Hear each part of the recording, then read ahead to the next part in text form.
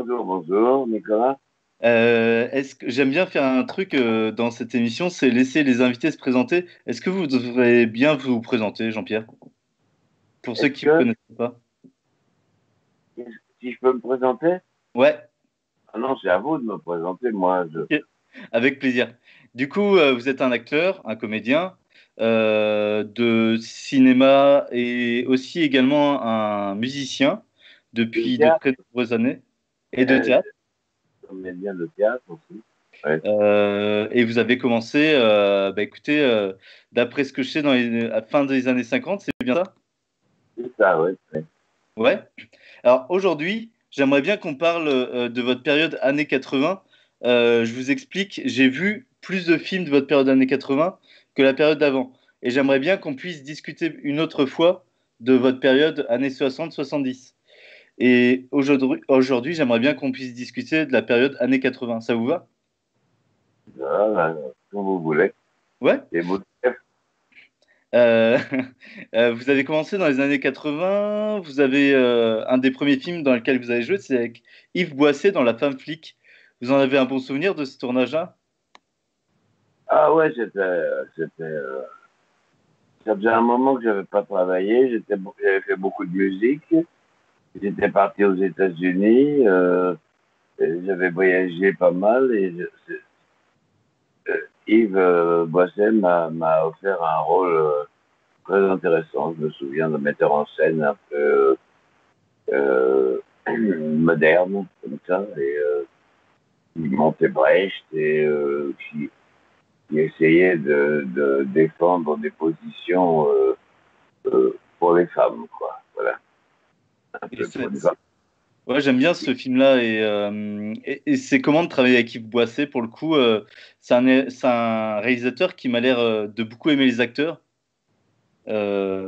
Comment il travaille en tant que, que réalisateur avec vous? Ah, vous savez, c'est quelqu'un qui, qui vous laisse plutôt faire, comme ça. D'accord. Quelqu'un qui, qui vous laisse assez libre. On- on- on- il, il sait que quand on, quand on lit un scénario, euh, s'il vous engage, c'est qu'il il pense que vous pouvez le faire. Donc, euh, bon, il y a- on se fait peut-être deux, trois remarques, des trucs et tout, un peu plus comme ci, un peu plus comme ça, je sais pas. Hmm. Mais euh, en même temps, il, je crois qu'il aime bien lâcher, euh, lâcher les brides, la bride sur le cou, quoi, que on se sente pas guindé et, et- et prisonnier d'une euh, d'une direction un peu trop précise, quoi. Ouais, ouais. Euh, c'est... Vous avez joué, alors on va en reparler un peu après, mais un an après, vous allez rejouer avec lui. Entre-temps, vous avez fait un petit film qui s'appelle, euh, enfin un petit film, un petit rôle euh, dans un film euh, anglais qui s'appelle euh, Les Chiens de guerre. Euh, comment vous êtes atterré sur ce, sur ce film-là, sur ce projet? Oh, moi, c'était une, euh, une directrice de casting euh, anglaise qui était venue à Paris chercher des acteurs. Et certainement que mon agent ou quelqu'un lui a donné mon nom. Et euh, j'ai eu le plaisir de tourner une très belle scène euh, avec Christopher Walken, qui n'est pas n'importe qui. C'est vrai. Vous voyez qui est Christopher. Bien sûr, bien sûr. J'aime beaucoup. Et pendant ce temps-là, pendant qu'on préparait la scène et tout, on a, on a pas mal discuté. Et on s'est rendu compte qu'on avait tous les deux joué euh, le rôle de Macbeth de Shakespeare. Et qu'on n'était pas très contents du travail qu'on avait fait. Non pas du metteur en scène, tout ça, qui était pas formidable. Moi, j'avais Roger Blanc comme metteur en scène, qui était un grand metteur en scène. Mais euh, j'étais pas très content de, de, de dire, euh, j'avais j'avais eu beaucoup de mal euh, avec, ce, avec ce personnage. Et il m'a dit que lui aussi, voilà, ça m'a rassuré. Qu- Quand vous jouez avec euh, un acteur euh, américain, est-ce que vous sentez beaucoup de différence dans l'approche du jeu ou, pas spécifiquement? Ah non, pas du tout, non, non. Euh, vous savez, on, se laisse, je crois qu'on aime bien se faire confiance. On aime bien faire confiance à l'autre. Et moi, les, acteurs américains avec lesquels j'ai tourné, j'ai tourné avec, euh, avec les Marvin aussi, euh, j'ai tourné avec un acteur anglais formidable qui s'appelle Oliver Reed. Euh, tous ces gens, euh, enfin, ils sont pas là pour vous faire la leçon. Vous voyez ce que je veux dire, mais ni pour vous dire ce que vous devez faire. Comme moi, pareil, je vais pas leur dire ce qu'ils doivent faire. Non, on, on débrouille pour être là, présent à l'intérieur du rôle et, et d'essayer de, de donner euh, le meilleur de, de ce qu'on peut donner dans, un, dans ce rôle-là. Vous, vous, la- vous connaissiez euh, cet acteur? Vous l'aviez déjà vu dans des films ou pas? Super Walken? Ouais. Oh, ouais, bien sûr, vous avez vu. Ouais. C'est le roi de New York ou le prince de New York, je ne me rappelle plus. Puis aussi dans. Euh, euh, ah, je sais plus ce film-là avec Robert De Niro et tout ça. Euh, c'est Michael Cimino. Ah ouais, ouais, ouais. euh, du coup, euh, il y a. euh, C'était. c'est Voyage au bout de l'enfer. Voyage au bout de l'enfer. Ouais. Ah Et oui, oui. aussi- mais ça, c'est plus tard. Plus tard, je l'ai vu, j'ai vu qu'il était un grand danseur. Je l'ai vu dans un clip extraordinaire où il Oui. dansait dans l'espace, comme ça. C'était vraiment formidable. oui. Oui, il est excellent. Mais euh, j'aime bien euh, Chien de guerre. euh, Il y a Stevena aussi qui joue dedans, que vous, que vous devez connaître bien parce que vous avez joué ensemble. Ensuite, vous avez fait un film avec Yves Boisset, un deuxième, que j'aime beaucoup parce que je le trouve assez virulent, qui s'appelle Allons enfants. Allons enfants, oui, oui. C'est la seule fois où j'ai joué un militaire. Et il fallait vraiment. Comment il pense C'est pas tellement. C'est pas tellement, comment dire, le genre de rôle dans lequel on me voit euh, précisément. C'est vrai. Et lui, il a eu euh, l'idée de me faire jouer un militaire. Et un militaire un peu véreux, hein, évidemment, parce que c'est- un mec qui fait un compliment, euh, un compliment à, à un soldat mort. Hein, c'est ça, c'est bien faire euh, euh, une éloge funèbre comme ça, c'est très hypocrite. quoi. C'est l'armée qui vient, qui, qui, qui, qui, qui se permet d'engager des gens, de les faire tuer, et qui après vient inventer leur qualité euh, de combattant, de je ne sais pas quoi. Alors qu'en fait, euh, bon, ben, ils sont pas tellement, euh, disons, intéressés par la valeur de la personne. Se- Seul compte euh, le dévouement de la personne à l'armée. C'est un peu. euh, enfin, tout le film est très, on va dire, critique envers l'armée et, et, et la façon dont la, ce système essaye de, de conformer le personnage. C'est un Il y a- dans. Rien à voir, mais je veux dire, il y avait un, fi- un film comme ça, c'était Les Sentiers de la Gloire aussi, euh, Mm. euh, de, de Kubrick, hein, avec Kirk Douglas et tout, euh, qui démolissait un peu euh, euh, la hiérarchie euh, de l'armée, de la haute Ouais. hiérarchie de l'armée. quoi. Ah, c'est un super film, là, Les Sentiers de la Gloire, forcément. Et euh, quand vous recevez un, un script, euh, par exemple de, de Yves Boisset, euh, d'un film comme Allons enfants, euh, enfin, c'est plutôt vous recevez les scripts, vous lisez et vous acceptez, ou, ou à un moment donné, quand vous avez déjà travaillé avec le réalisateur, comme Yves Boisset, euh, vous, vous êtes partant d'office? Je suis partant d'office. Ouais. Puis en plus, il me propose une chose que j'ai jamais fait, c'est-à-dire de jouer un militaire un peu, euh, euh, un peu manipulateur, quoi. Ouais, c'est vrai, c'est vrai. Donc, Et, euh, c'est intéressant parce que ça me change de, de ce que je fais, quoi. Il y a, en, en soi, euh, vous avez beaucoup de rôles assez différents. euh, quand, quand je regarde, euh, ensuite, vous avez enchaîné avec Une étrange affaire. C'est un rôle qui n'a rien à voir. Pour le coup, c'est un, un, un- un, un costard-cravate, j'allais dire un peu, le, le personnage dans Une étrange affaire. Un quoi? Un costard-cravate, un, un mec qui bosse dans les bu- bureaux, quoi. Ah oui, c'est ça. Mais en même temps, c'est une sorte. Moi, j'appelle, j'adore ce film, qui est un très beau film. L'étrange affaire. Et j'ai toujours, j'ai toujours appelé ça, ce film-là, un film de vampire sans les dents. Parce qu'on est là, euh, Piccoli, Balmer et moi, on forme un trio qui vient s'immiscer dans la vie de De Gérard de Nathalie Baye pour, pour le, le, le, le vampiriser carrément. Ah, et, et, euh, et le laisser sur la paille à la fin quand, ils- quand ils s'en vont, ils, ils disparaissent. Lui, il n'existe plus. Quoi. Il a perdu sa femme, sa mère, euh, on lui a éloigné sa mère, le chien de sa mère. Enfin, il a tout perdu parce qu'il a voulu croire euh, qu'il allait pouvoir gagner du galon en, en, en, en faisant le, le comment dirais-je, Ouais.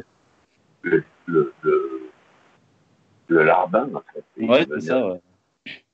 Larbin, Ouais, c'est un super film.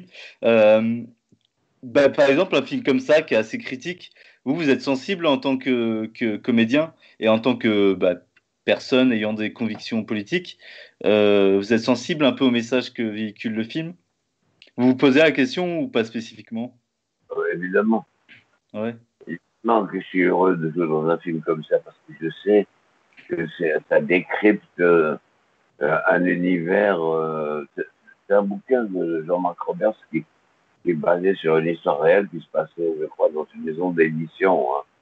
Mmh. Euh, d'origine. Après, dans le film, ça a été transposé dans, dans un grand magasin. C'est ça. Mais c'est l'histoire des, des gens qui viennent, euh, qui rentrent dans un univers et qui, qui sont là euh, pour se servir eux-mêmes. Voilà. Donc, euh, vous voyez, c'est des. C'est. Je ne sais pas comment. comment ah, des vampires, hein, c'est pas si faux. Hein.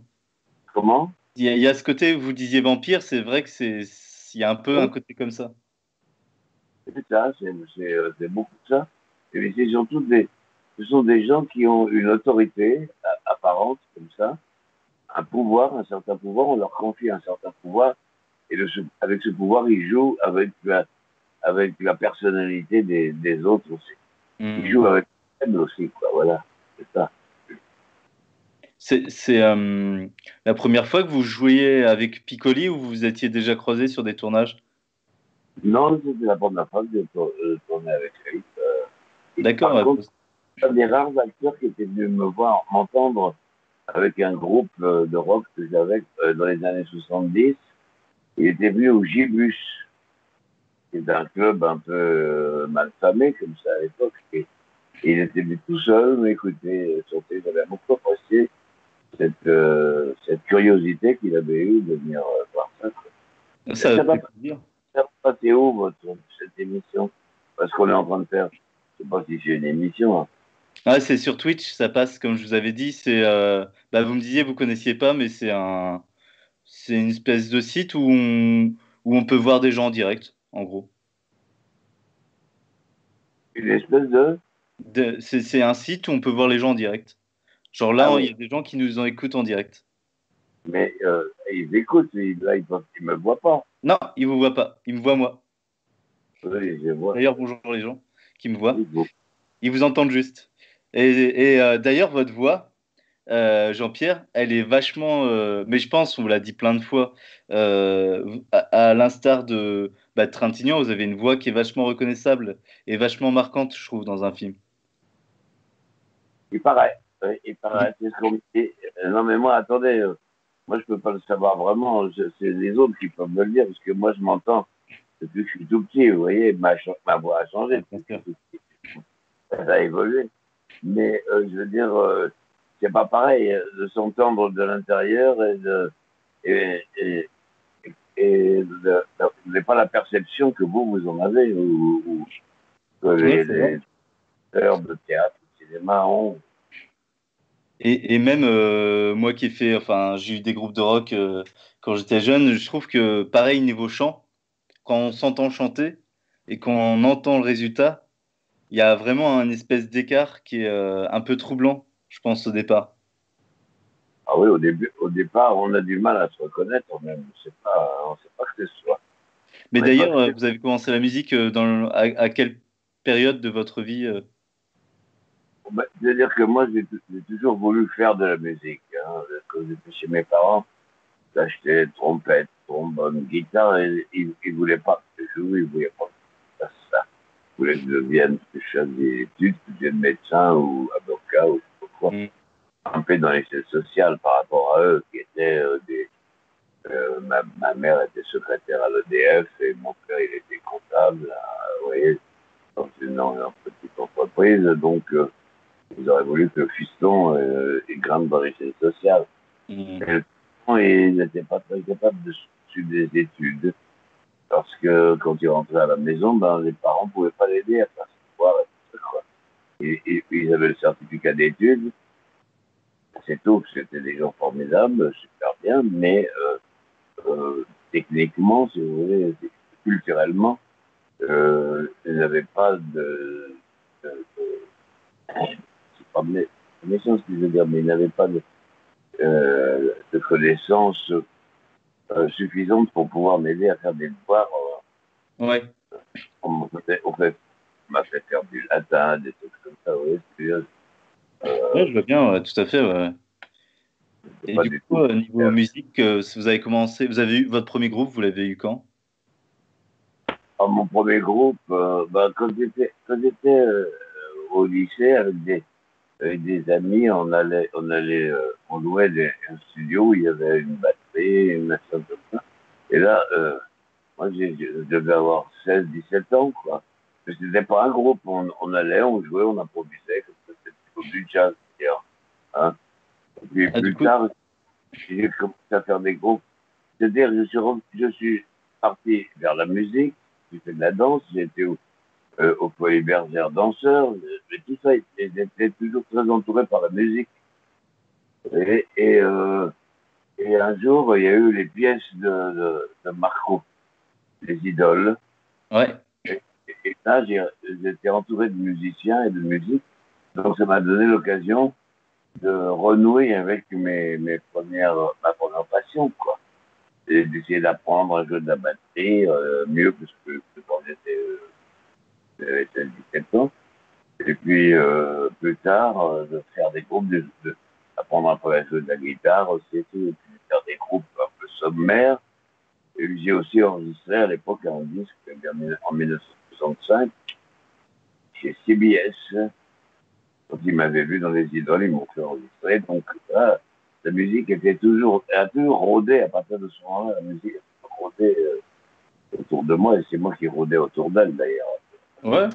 Mais je pense que, euh, que votre image de rocker, enfin, je pense que dans le cinéma français, en dehors de la musique, vous avez une image de, de rocker un peu, qui, euh, volontaire ou involontaire, je sais pas si vous voyez ce que je veux dire, mais pour moi, euh, sans même, euh, bah, je savais que vous faisiez de la musique, mais même si je ne l'avais pas su, euh, il y avait quand même déjà cette, cette image de rocker.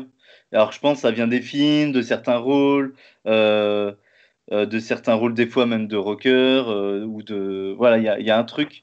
Et d'ailleurs, bah, on va en parler un, un peu après, mais il y a même des films où vous avez fait la musique.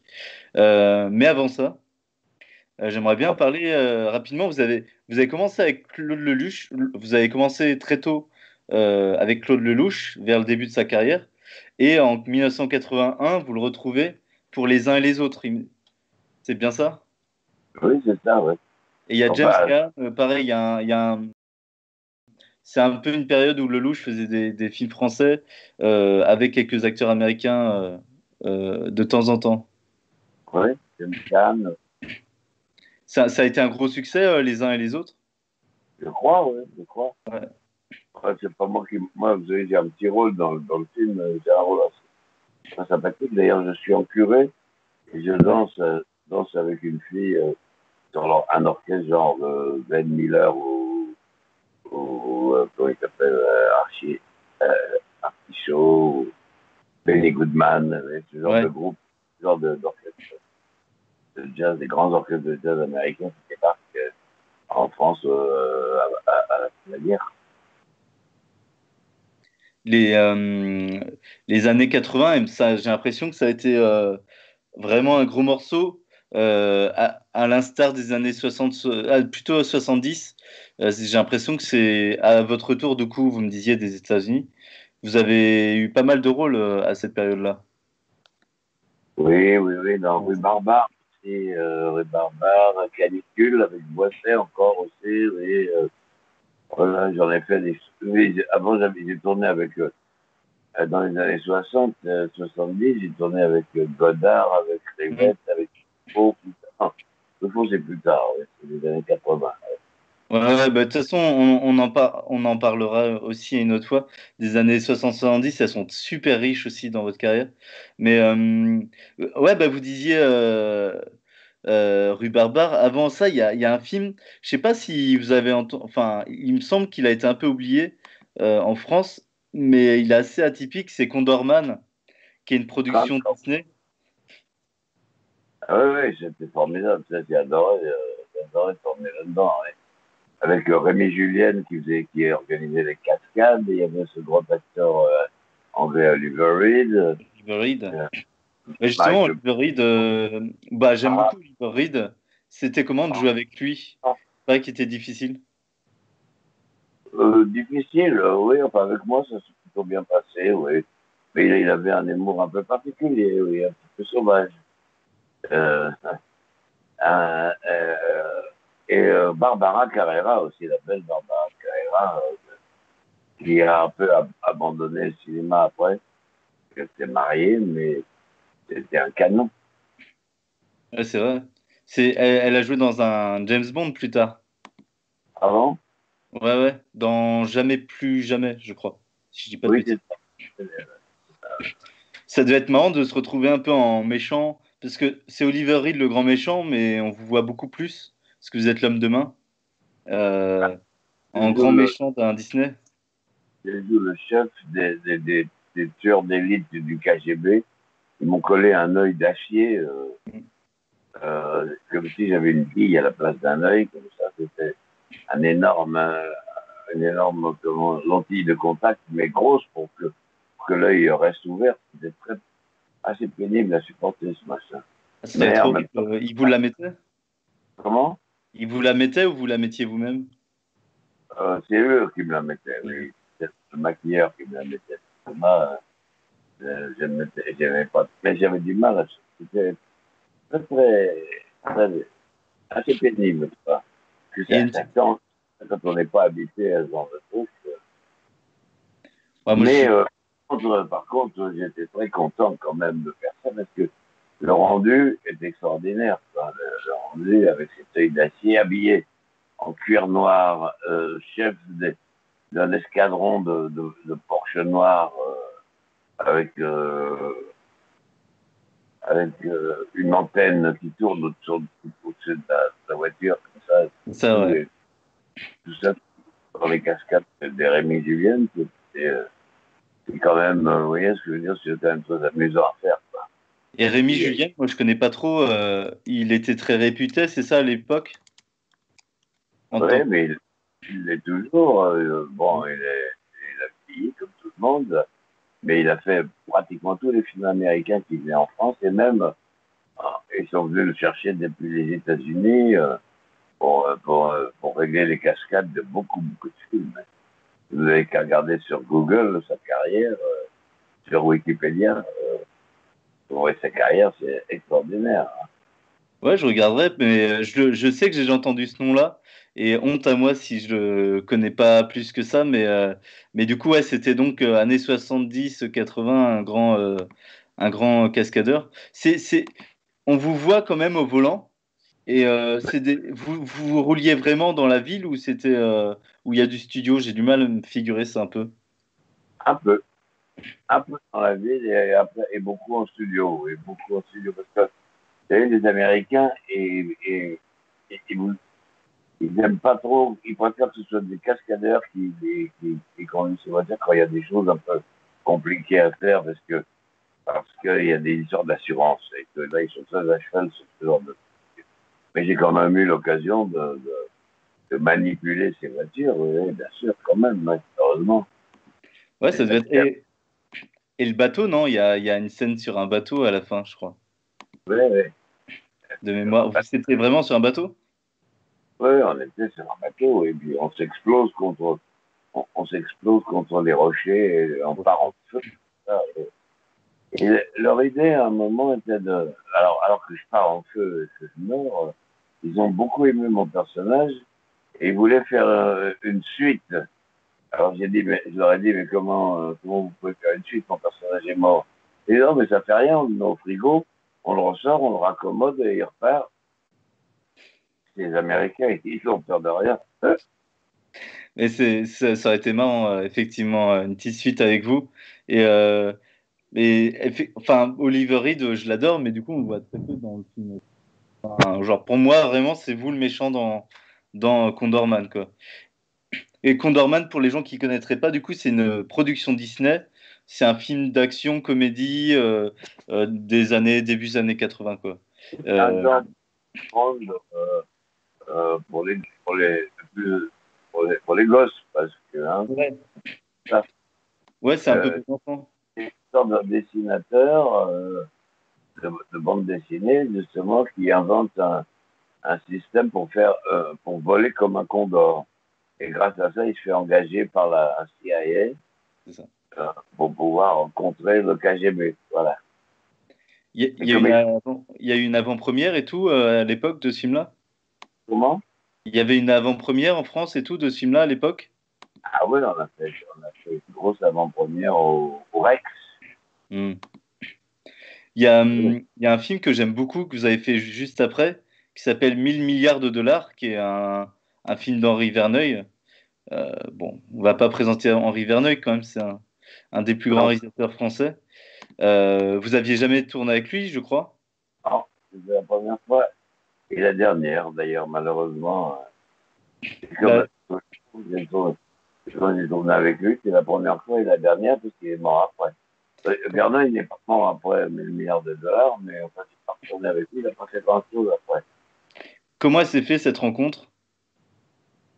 Comment elle fait la rencontre avec, euh, Ouais. C'est euh, une dame, à l'époque, qui était casting director, euh, la première grande casting director de cinéma français, Margot Capelier. D'accord. Vous direz, vous dit rien, ça? Non, non. Ben, vous regarderez sur un Wikipédia Margot Capelier. Ouais, je vais regarder. Elle a, elle a, elle a elle a euh, je ne sais pas combien de films. Quand les Américains venaient en France, dans les années 60, 70, 80, ils allaient directement chez Margot Capelli quand ils cherchaient des acteurs français. Voyez? Ouais, je vois ça, parce qu'elle fait French Connection, Bobby euh, Derfield, Moonraker, ouais, ouais. Vous l'avez là? Vous avez ouais, ouais, je vois ça, ouais. Effectivement. Euh... Margot Capelli, ouais. c'est ça? Capelier, ouais, c'est bien ça, ouais. C'est un peu, c'est énorme. Ouais. Elle a fait Ciné Pollack, Joseph Lozé, Frank, euh, John Frankenheimer, Otto Preminger. Ah ouais, c'est énorme, ça. C'est une, une, filmographie extraordinaire. Enfin, une, elle, a, elle, a, elle a distribué, euh, elle a fait travailler tous les acteurs français dans les films américains. Euh, c'est une personne formidable, ouais.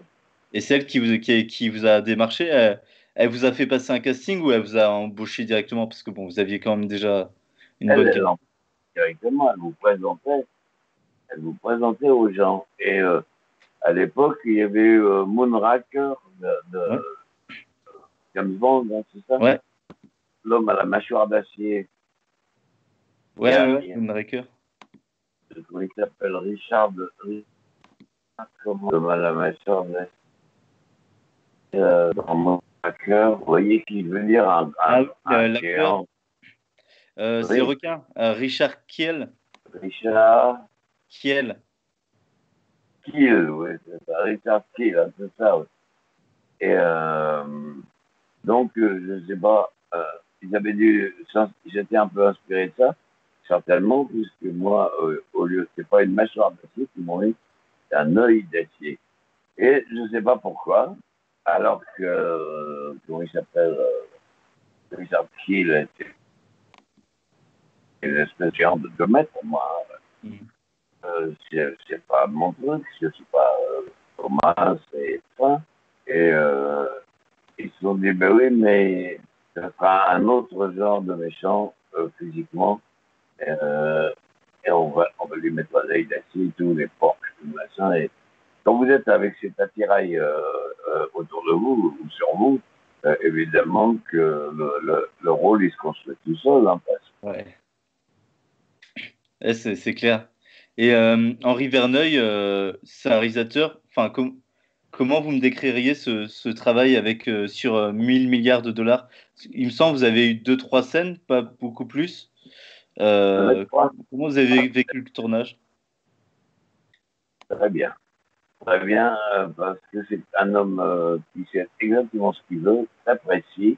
Euh, bah, il a, il a une filmographie, hein, on n'a pas besoin de. Ouais. Il en a fait des films, lui aussi. Et il est donc un très grand technicien, mais en même temps, c'est un homme très sensible. le sujet est très sensible de milliards de dollars. Hein. C'est quand même un truc sur la manipulation des, puissants qui vont construire des. Ils, fabriquent des armes et des, des, canons, des fusées, des, des, bombes, des trucs et tout. Et, et en même temps, dans les pays où ils vont attaquer, ils, sous, sous, sous, des sociétés, avec des sociétés écrans. C'est ça. Avec des sociétés écrans, ils construisent des hôpitaux pour guérir les gens qui, vont être blessés par leurs propres armes. C'est ça. Et tout ça, c'est pas puissant, je crois. Ouais, c'est un film assez critique, ouais. C'est euh, battant et avec un, un acteur que j'aimais beaucoup qui s'appelle Patrick Devers donc ça a été le dernier film, je crois. Et je crois qu'il Paradis pour tous après. Pardon? Je crois qu'il avait fait Paradis pour tous après, mais il me ah. semble qu'il est mort avant Paradis, avant la sortie. Oui, oui, ça. Pour tous. Faire le film sur Martin Cerdan, le Claude Lelouch, il s'était entraîné à la boxe et tout ça. Et puis, il a eu une histoire euh, amoureuse très négative, je crois. Et il s'est flingué, C'était un mec formidable que j'aimais beaucoup. Il paraît qu'à l'époque du tournage de 1000 milliards de dollars, euh, c'était, euh, euh, bah, il était plus trop désiré comme acteur. il, il, avait été un peu blacklisté suite à des, à des déclarations contre un journaliste. et il me semble que c'était un peu son film de retour, 1000 milliards de dollars. Peut-être, je ne sais pas, ça, j'ai pas suivi. Ouais, je pas suivi. Et bah, c'est comment de jouer avec Patrick Devers là Parce que vous avez une belle scène, des scènes ensemble. Ah toutes mes scènes sont avec lui. C'est quelqu'un que je rencontrais avec qui je me faisais d'amitié chez Coluche. Il ah, partie, okay. partie de cette bande là. Et, et ben, Coluche avait une grande maison, rue Gazan, avec une piscine, avec euh, ping-pong, tout ça et tout. Je me rappelle que euh, on se voyait là, il, y avait, toujours des grands dîners organisés par Coluche. Et euh, voilà, on se peignait, on jouait au, ping-pong, au, baby-foot aussi. voilà, il y avait des soirées formidables. Ah, et donc vous aviez jamais joué ensemble mais vous vous connaissiez déjà tous les deux Avec qui? Avec Coluche? Avec euh, Devers Avec Devers Non, non, oui, on n'avait pas joué ensemble. Mais on s'est retrouvés avec plaisir, non Parce qu'on était, on avait quand même euh, sympathisé chez Michel Coluche, Colucci. Euh, on, a, on avait sympathisé, on, on s'est retrouvés avec plaisir et on on avait pris euh, beaucoup de plaisir à tourner ces scènes. C'est vrai. J'ai très bien réalisé.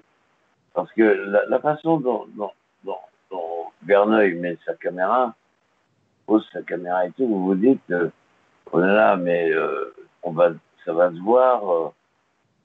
par exemple, la dernière scène à la fin, quand il bute, tout, il, va chercher un, flingue sous la table et tout. Alors, quand, sur le tournage, on a l'impression que c'est un peu gros, quoi, comme ça. Mais la façon dont il cadre, dont il filme les choses, fait qu'on évoque du feu et que tout devient possible. C'est plausible, vous voyez? Oui, je vois complètement, ouais. Et, euh, il, euh, vos trois scènes sont vachement cool en fait, euh, et, et, particulièrement celle du milieu, qui est dans le bar, où vous communiquez sans vous regarder. Ah oui, oui, dans le bar, oui, oui. Je lui interdis de, je lui interdit de me regarder, je ne veux pas qu'il me voit, mais euh, il trouve un moyen de, avec un miroir, tronche. Oui. Ça, c'est très fort. Ça paraît impossible, ça.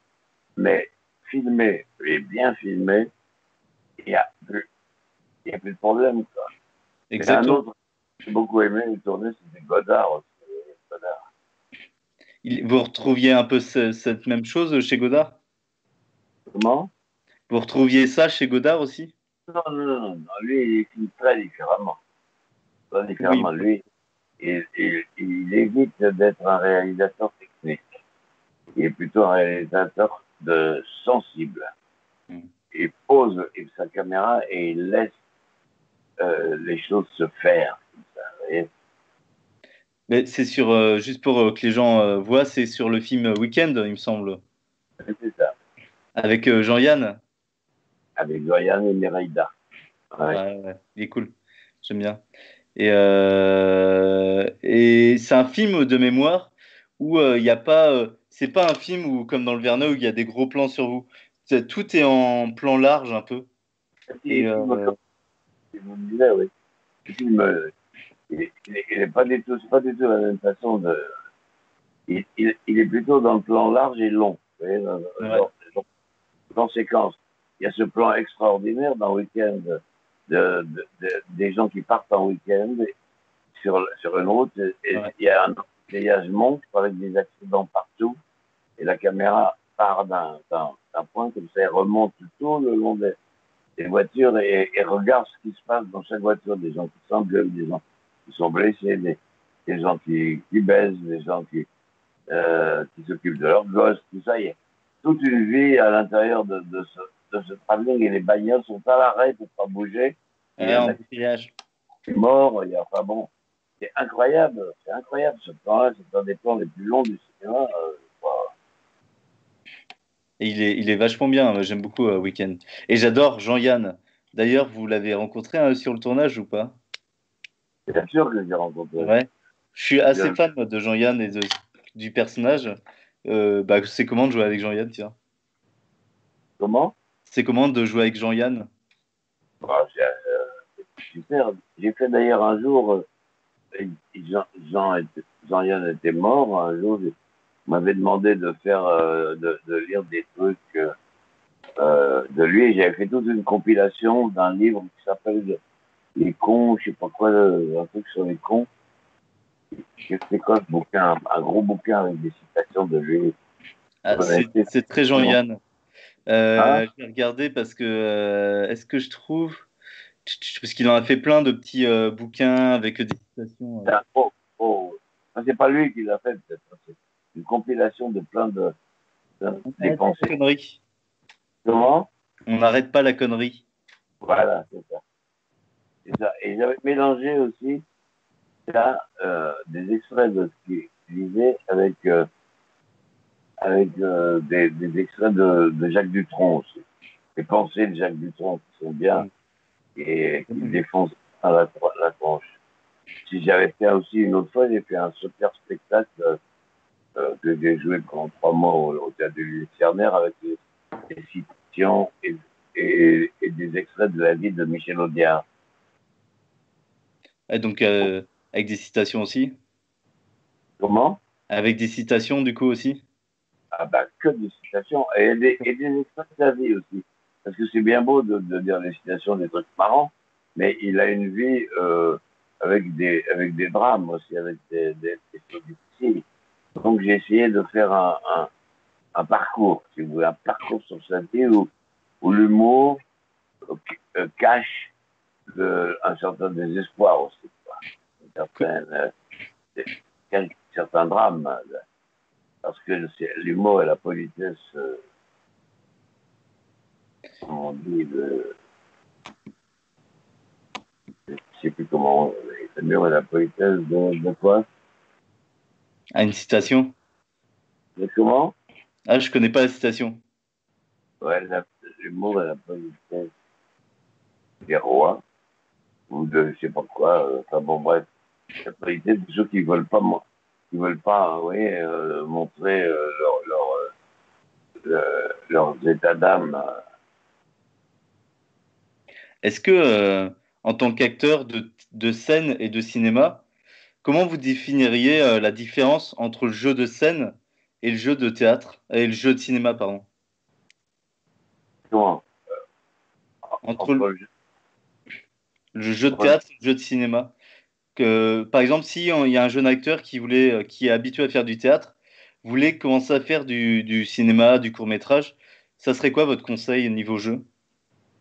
D'abord, je ne me permets pas de donner de conseils parce que j'ai besoin de conseils moi-même, des fois encore.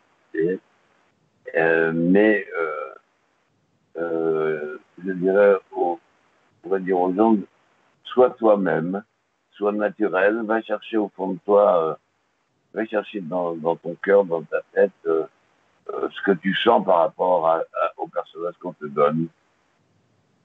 Et que ce soit au théâtre ou au cinéma, si vous voulez, euh, c'est différent. Mais euh, c'est quand même le, ce qui compte, c'est le résultat. C'est qu'on ait un, résultat qui paraisse juste, que ce soit au mm. théâtre ou au cinéma, qui paraisse juste, puis que euh, pour le spectateur, il n'y ait, euh, ait, pas de doute. Vous êtes le personnage. Vous êtes débarrasser de votre personnalité pour rentrer dans, pour dire rentrer dans la peau du personnage. Je ne sais pas si c'est rentrer dans la peau du personnage ou si c'est le personnage qui rentre dans votre peau, peu importe. le problème, c'est que euh, avec ce qu'on sent à l'intérieur de soi, avec ce qu'on sent, on, on, se débrouille pour, euh, pour euh, essayer de, de s'identifier personnage proposé. Mais on est aidé en ça par les dialogues, on est aidé en ça par le metteur en scène, on est aidé en ça par, euh, par euh, le réalisateur au cinéma, le metteur en scène au théâtre, le partenaire. Et tout ça est un ensemble. Hein, un ensemble. Bien sûr. Euh, je, pour revenir un peu à votre filmographie, vous avez tourné dans Vivement Dimanche, un super rôle d'ailleurs. C'était votre premier rôle avec Truffaut, non? Premier et dernier. C'était son dernier film aussi. Avec une très belle scène, je me rappelle, avec euh, Fanny, euh, euh, avec Fanny Ardant dans, dans l'agence. Oui, oui. Je pense bien essayer d'enquêter pour savoir qu'est-ce qui se passe et que ma, ma, maladroite, je je suis pas du tout le, coupable, mais je pense que Truffaut m'avait pris pour ça, vous voyez. Oui, oui il savait que j'ai joué des, des, méchants ou des, des voyous, des trucs comme ça. Et en fait, là, je joue un curé. Donc, euh, je ne suis pas habillé en, curé, je suis habillé en, civil, quoi. Donc, euh, je suis maladroit, je viens me renseigner, essayer de prendre des renseignements dans cette agence, il y a Fanny Ardent, et euh, je m'y prends tellement maladroitement que je deviens soupçonnable. Mais même complètement, ouais. ouais quand on le regarde, on pense que c'est vous euh, un peu le coupable. Euh, et c'est, volontaire évidemment. Et euh, bah, Truffaut, moi j'ai vu toute sa filmographie. J'aime beaucoup. je trouve que Vivement Dimanche, ça fait partie des très bons films de sa filmographie. Vous, vous étiez déjà un peu fan de, du travail de Truffaut ou pas spécialement à ce moment-là déjà? J'aime beaucoup. Ouais mon ami, ma grande amie Bernadette Lafont a beaucoup tourné avec lui. Et une belle fille comme moi, euh, elle est extraordinaire. Et c'est un film fabuleux. Elle, elle a une pêche, une vitalité. Elle, euh, déborde de, de, de force. De, comment? Non, je suis d'accord. Bon, euh, il a tourné beaucoup avec Jean-Pierre Léo, euh, et aussi tiré sur le pianiste. Le premier film que j'ai vu, c'était de Gaznavour, et comment il s'appelle aussi, euh, chanteur, là. Dans Tirer sur le pianiste, que j'ai vu, du coup, mais ah, vous me posez des cols comme ça. qui est-ce qu'on avait? À Aznavour Je m'en souviens que trop bien. je peux essayer de voir. Bobby Lapointe. Ah, Marie, Dubois aussi. c'est un, un, super film. Vous, vous, euh, vous deviez être content de jouer avec, pour Truffaut, j'imagine, euh, à ce moment-là, parce que ça fait partie des grands. C'était les 400 coups. Oui, bah ouais, les 400 coups. Euh. les 400 coups, c'est un, un, film qu'on peut encore montrer, je trouve, à des adolescents de nos jours, sans que ça les ennuie. Ça reste un vieux film, mais il est tellement vivant, tellement prenant que, il, il, enfin, qui reste captivant, je crois, même pour les plus jeunes. Vous savez, euh, euh, il y, y, a des choses comme ça qui ne vieillissent pas. Quoi. Shakespeare, ça ne vieillit pas. C'est vrai. D'actualité parce qu'il a décrypté le monde. Puis vous avez la musique aussi, Mozart, euh, oui, Mozart, euh, ça peut être, aimé par les gens de maintenant, comme ça a été aimé par les gens à l'époque, et je ne sais pas, euh, il est resté, il est resté parce qu'ils sont des gens qui font des choses essentielles, quoi, des choses essentielles. Mozart, Beethoven, euh, je sais pas, euh, Wagner, euh, mm. Vivaldi, et alors ne parlons pas des grands des, opéras, Rossini, Bellini, Verdi, et la musique italienne, tout ça, ça ne vieillit pas. Je disais, Carmen, Carmen, sans arrêt, il y a de bonnes interprétations de Carmen. Bien sûr. parce que les, gens s'attaquent à des thèmes essentiels de, l'être humain, quoi. Alors, il n'est pas question de. Je trouve que les 400 coups, ça passe là-dedans, comment, euh, est-ce que, enfin voilà, si vous pouviez décrire euh, François Truffaut en tant que rencontre et en tant que, réalisateur avec vous. Comment ça a été cette rencontre? Bah, Un jour, il avait dit à Bernadette, à fond peut-être parce qu'il m'avait vu dans les films sur les voyous, c'est pourquoi il avait dit à Bernadette, qui était ma grande amie, comment vous pouvez être ami avec un mec aussi louche que ça Donc je ne pensais jamais tourner avec lui. Vous voyez c'était pas du tout. Euh, je me disais, bah, il a dit ça, bon, bah, voilà un réalisateur, euh, la porte est fermée par là. Ah, je vois ça. J'étais chez moi, le téléphone sonne, allô, c'est Spencer Truffaut, euh, je peux vous, vous donner un rendez-vous si je voudrais vous voir pour, pour un rôle dans le prochain film que je fais. Voilà comment ça se passe. C'est aussi simple que ça. Et vous êtes, vous faisiez le rôle du mec loup. Alors, comment il m'a, il m'a cassé j'ai tourné un film qui s'appelle L'amour fou de Jacques Rivette. De, ouais, un, très long film. Hein? Un très très long film. Très long, avec 4 heures et quart. Hein.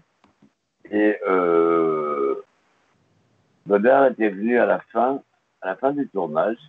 Il était venu sur le tournage parce qu'ils étaient, c'était la bande de, de, la nouvelle vague, entre fond, Godard, Rivette, euh, Romer, euh, tous ces gens-là étaient très euh, proches à Brol aussi. Mhm.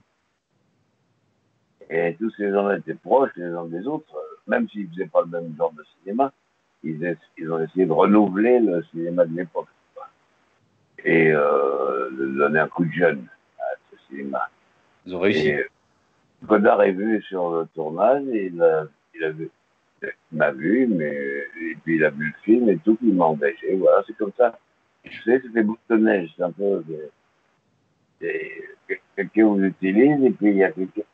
Ça fait, ça fait tilt dans la tête, dans le cœur de d'autres gens qui viennent nous chercher quelque chose de vous, quoi. Ils ont aimé une certaine euh, personnalité, voilà. Ouais, ça. ça fait sens. Ça fait très sens. Mais en, en rôle de rocker, d'ailleurs, euh, du coup, vous avez fait dans Rue Barbare, vous faites le frère du héros. Je dis pas de bêtises, hein, c'est bien le frère du héros de mémoire. Le quoi? Le frère du héros dans Rue Barbare. Euh, Bernard Giraudot. C'est ça, ouais. Et c'est un film, euh, c'est un film assez, bah, j'aime beaucoup. Je trouve qu'il représente beaucoup le un truc des années 80, des, des, des, des, quartiers populaires des années 80 peut-être un peu fantasmé avec le côté cinéma, mais il a vraiment un petit truc comme ça de ce qu'on peut s'imaginer de ce que c'était les années 80 euh, euh, dans les quartiers populaires. Un peu, oui. Vous savez, ce soir, ce soir, il y a un film dans lequel je joue qui passe sur Canal+. Ah, c'est quoi? C'est euh, un, court, un court métrage de Stéphane Castan qui passe à 22h30 sur Canal+. C'est le dernier de la saison et c'est le dernier, je ne sais pas si vous connaissez Pascal Faure. Pascal Faure, c'était la directrice des courts-métrages sur Canal.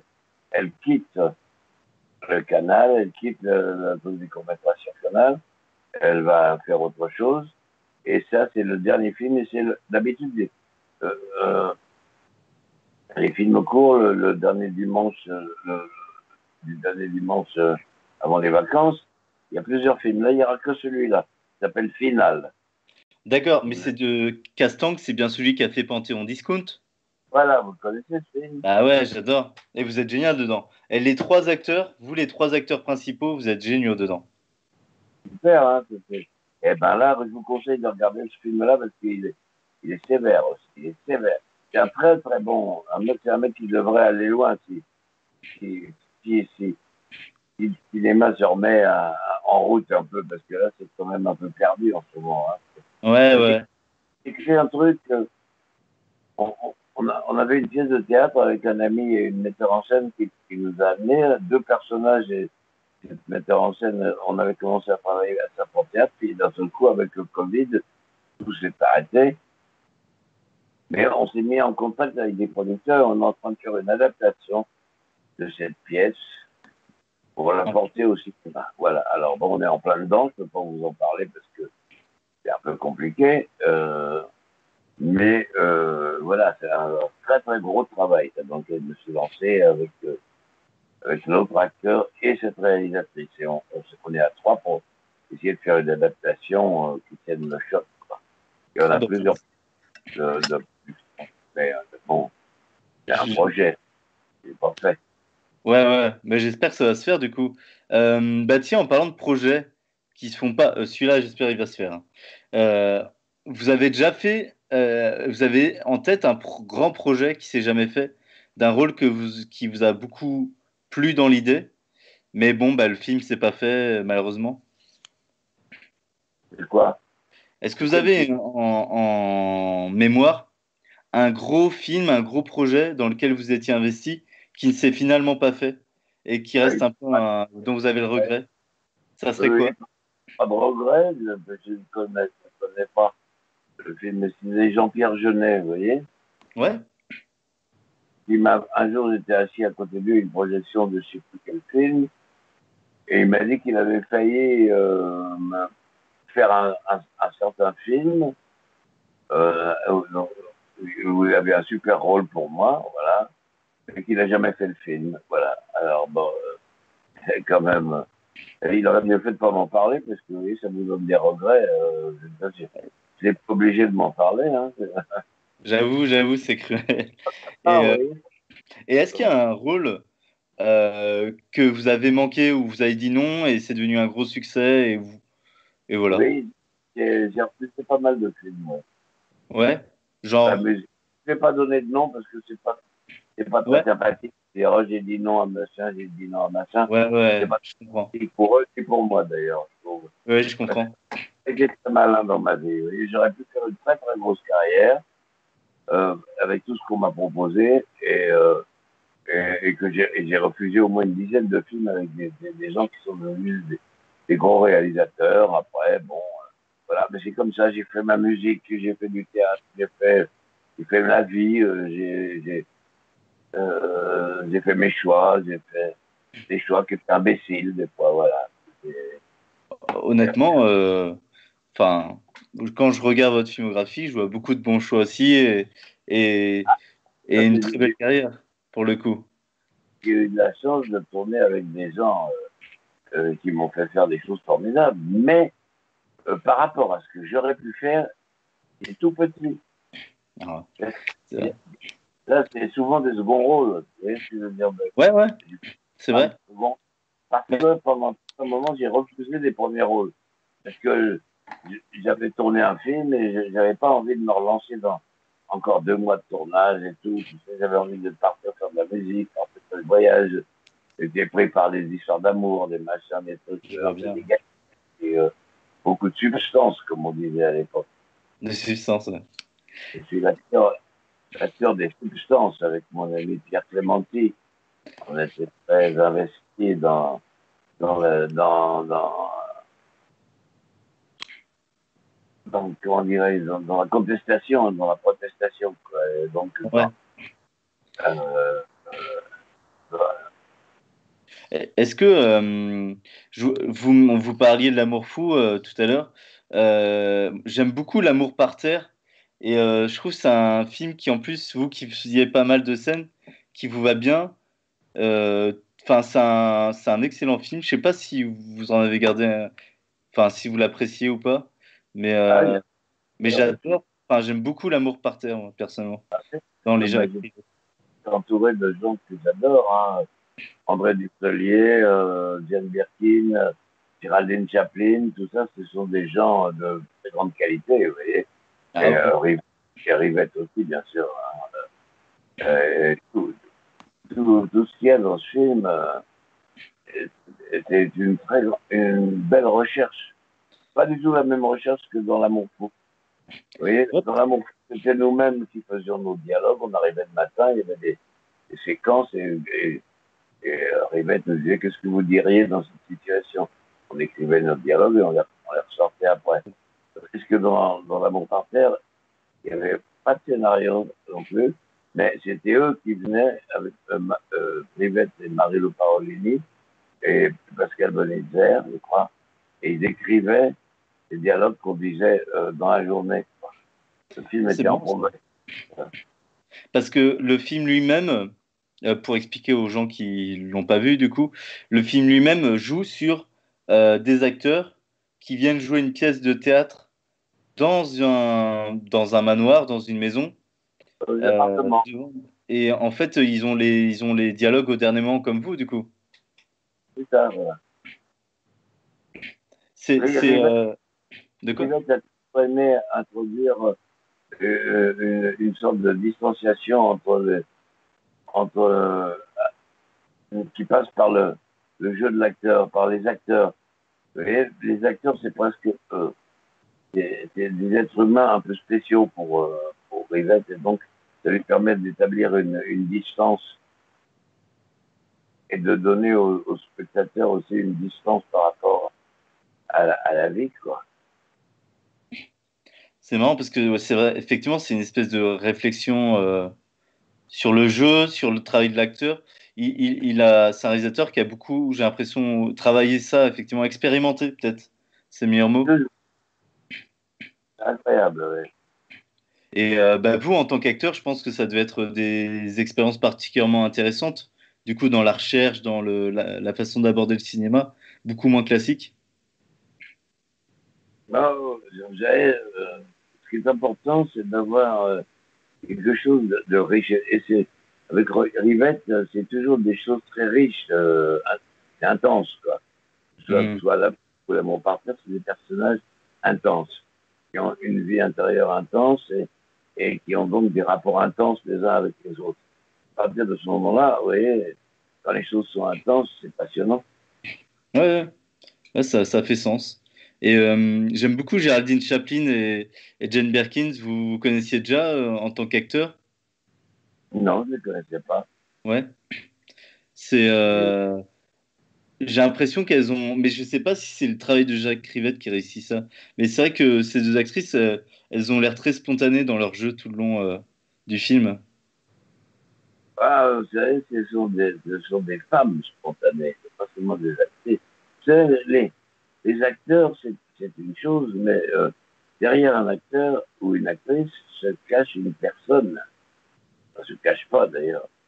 Il y a une personne qui présente un personnage euh, et qui essaye de, de s'incarner dans un personnage. Et donc, euh, c'est quand même, euh, au bout d'un moment, quand on a, quand on a quand on a, quand on a beaucoup tourné, beaucoup travaillé, euh, ça devient une seconde nature. Vous voyez, on ne se pose pas de problème. donc, on a peut-être ce qui nous apparaît comme une spontanéité, alors qu'il y a derrière un certain travail. Mais ce travail ne se voit plus parce que il est digéré, il est, il est comment dirais euh, ça devient plus facile, plus spontané, plus naturel. Mais même, moi, moi j'ai jamais eu de problème euh, personnellement pour travailler. C'est peut-être pour ça que les gens m'ont employé. Euh, et parce que pour moi, la caméra, euh, je la vois pas. Je sais pas où elle est, je m'en fous. Euh, vous voyez ce que je veux dire? C'est pas à moi. C'est au metteur en scène de savoir ce qu'il veut faire, de la, mettre et tout. Moi, ce que mon, mon, travail, ouais, il est évidemment, ben, il n'est pas de me cacher de la caméra, mais il est de pas tenir compte de ça pour essayer de, euh, de faire comme si. Mm. Comme des gosses. Hein, quand on est gosses, on dit, toi, t'es le général, euh, je sais pas quoi, Custer, et, et euh, toi, t'es l'Indien Geronimo. Alors, l'Indien, il tue le général Custer, et le général Custer, il se relève deux minutes après, et il joue un autre rôle. Voilà, c'est, il y a un côté enfantin euh, dans le jeu. Quoi. Il y a un côté, euh, Ah, c'est euh, Non, c'est- c'est- c'est- je, je l'entends bien. Imaginaire. C'est l'imaginaire, hein, c'est ça C'est ça. C'est mais c'est vrai que tout le monde n'y arrive pas, pas nécessairement euh, en soi euh, ce, jeu- ce, ce travail-là. Euh, de la même année, vous aviez joué dans Canicule, vous avez retrouvé Yves Boisset. Je pense, Oui. je sais pas si c'est un des réalisateurs avec lequel vous avez le plus tourné, mais trois films, c'est déjà, c'est déjà pas mal, je pense, dans une carrière. Ah, même pas mal. Dernièrement, il m'avait proposé un truc que j'ai pas fait, que j'ai pas voulu faire. Ouais. Je joue euh, euh, Laval. Laval, d'accord. Ah oui. Le, le politicien euh, de la de l'entre. Ouais.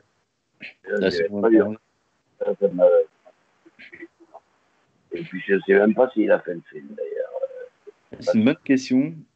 Si, je crois qu'il a sorti un truc sur Laval il y a quelques années, mais, euh, mais euh, j'ai pas vu. Mais c'est un truc télé, un film télé, je crois. C'est pour la télé, oui. Euh, la...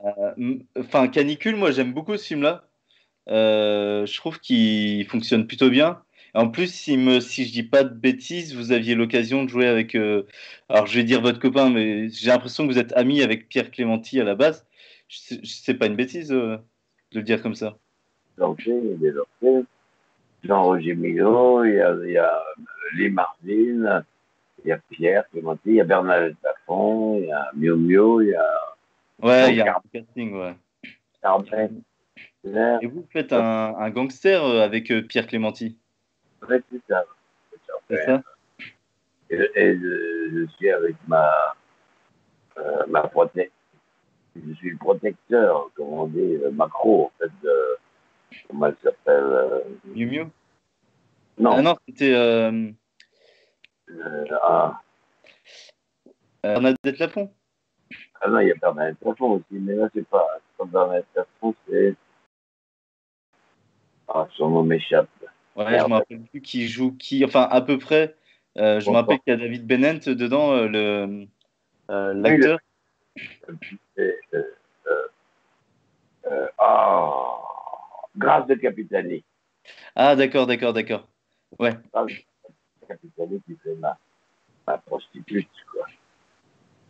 Euh, bah, c'est un film vachement sympa. C'est un petit film d'action. euh, c'est vrai qu'il y a Lee Marvin, donc il y a un- ça rajoute un côté un peu. euh, euh, bah, comme il aime bien Boisset, il fait un, des trucs un peu à l'américaine, je trouve, des fois. Et, Canicule, c'est vraiment un petit côté à l'américaine, mais dans la campagne française, quoi. Profond, Oui. même. C'est comme c'est un, un bouquin de Jean Vautrin. D'accord. Herman. C'est un Herman qui a été un réalisateur et après il s'est mis à écrire beaucoup sous le nom de Jean Vautrin. Ça vous dit quelque chose? Ça me dit quelque chose, ouais. J'ai pas lu, mais je, je connais le nom. Jean Western aussi, moi j'ai tourné avec Eric Rochon dans Total Western. Ah, Total Western, ouais, il est bien. Il est vachement bien. Et Ah. encore, je trouve qu'on retrouve beaucoup la dimension euh, sociale, en tout cas, euh, euh, dans vos films. Et bêtement, un film comme euh, Total Western, qui est un film un peu d'action, bah, et on retrouve encore ça. Je sais pas si vous voyez ce que je veux dire. On retrouve quoi? On retrouve un côté social, un côté euh, euh, euh, engagé, on va dire. Ah bah oui, il y a, il y a ce, ce truc avec les gosses qui sont, qui sont euh, disons, euh, qui sont pas en prison. Ils sont en foyer. sont- on les met dans une ferme. Les foyers, on les met dans une ferme pour les rééduquer. C'est Avec Ouais. un éducateur, par exemple François Steblin d'ailleurs. Et euh, euh, au début du film, on, les entend en train de s'engueuler, de dire des saloperies, et tout, on les prend vraiment pour des euh, des petites frappes comme ça. Et puis d'un seul coup arrivent les vrais méchants. C'est-à-dire que nous, moi et ma, mon, mon, mon, équipe, on arrive de l'Est. Hein, J'ai appris des répliques en hongrois, d'ailleurs, pour ce film. Dur. et, et, et, et d'un seul coup, pas de niveau de méchant. Quoi, ouais, ouais. Les, les, les, les, les, ils ont une certaine méchanceté entre eux. Ils s'envoient des vannes, des trucs et tout. Et, je pense encore très, très développé.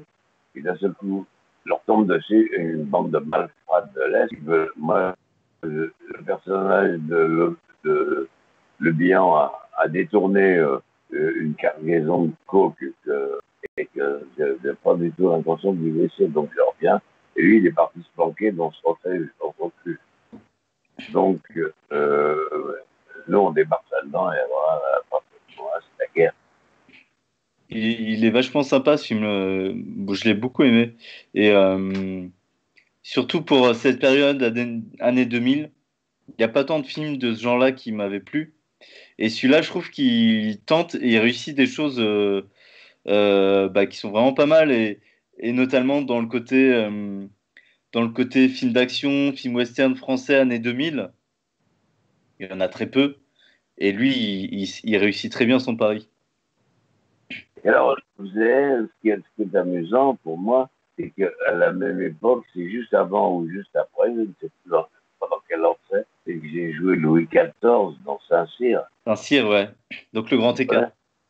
Ouais. Le grand écart entre Total Western et euh, le voyou de l'Est et, et, Louis XIV, qui est un, qui est un, un grand salopard aussi. Hein. C'est, euh, la révocation des lignes Nantes, le massacre des protestants et tout ça, c'est quand même aussi. Euh, c'est pas un saint, Louis XIV. Euh, c'est euh, sous, sous, une, sous un aspect euh, raffiné, soi-disant, Louis XIV. Vous voyez, alors que l'autre, c'est pas du tout raffiné. Hein. Celui qui vient de l'Est. Hein, un, il vient de payer moins raffiné. C'est une brutasse euh, euh, violente. Quoi.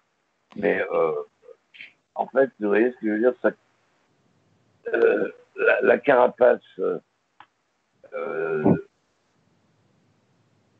de, de, Louis XIV cache aussi une âme, euh, une âme de, de, tueur.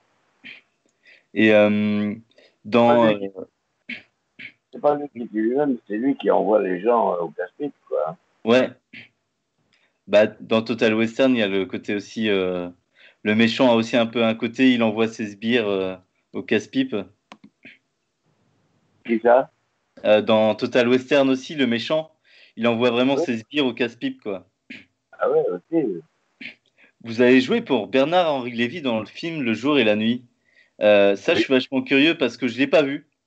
J'ai aucun avis là-dessus. Mais alors, bah, il se fait beaucoup, beaucoup, beaucoup, beaucoup descendre ce film-là euh, comme étant un, un, gros navet, etc. Euh, après, vous, ouais. vous avez joué dedans, je ne sais pas forcément votre avis, euh, mais, mais qu'est-ce que vous en regardez de ce, de ce tournage un peu? Moi, j'ai eu très bonne critique. J'ai eu dans le monde, si vous retrouvez un article du Monde qui parlait à l'époque, il me sort que moi, euh, il y en a un qui se son épingle du jeu, c'est moi. Bon, voilà. Alors, mais de toute façon, moi, j'ai été content parce que j'étais au Mexique, que je ne connaissais pas. J'ai passé dix semaines au Mexique, dans un pays assez extraordinaire, avec euh, Delon, avec euh, Lorraine Bacal. J'ai dansé avec Lorraine Bacal. Lorraine Bacal. Elle est sympa Oui, très sympa. Et puis, il y avait euh, Francisco Rabal. Francisco Rabal, ah, qui était l'acteur fétiche de Buñuel. J'aime beaucoup. Voilà. Un de mes grands regrets, moi, c'est de jamais avoir tourné. Il y a deux, deux grands regrets. Vous parlez de regrets, mais euh, j'ai même pas été contacté par eux, mais c'était euh, Louis Buñuel. J'étais vert de rage de ne pas avoir tourné avec lui. Et Orson Welles. J'aurais adoré tourner avec ces deux-là. Il y aurait eu une euh, possibilité, Orson Welles? Je sais pas, quand il a tourné le. Peut-être quand il a tourné le procès en France. Euh, ouais, peut-être j'aurais peut-être. Je sais pas, je me souviens plus de ce qu'il y a comme rôle dans le procès. Je pense qu'il y aurait eu un rôle pour moi, j'en sais rien, mais enfin bon. Buñuel, mon, mon pote Clémentine, il en a fait deux ou trois avec lui. C'est vrai, ouais. C'est vrai. Ouais. Et comment il, il, vous a raconté un peu les tournages?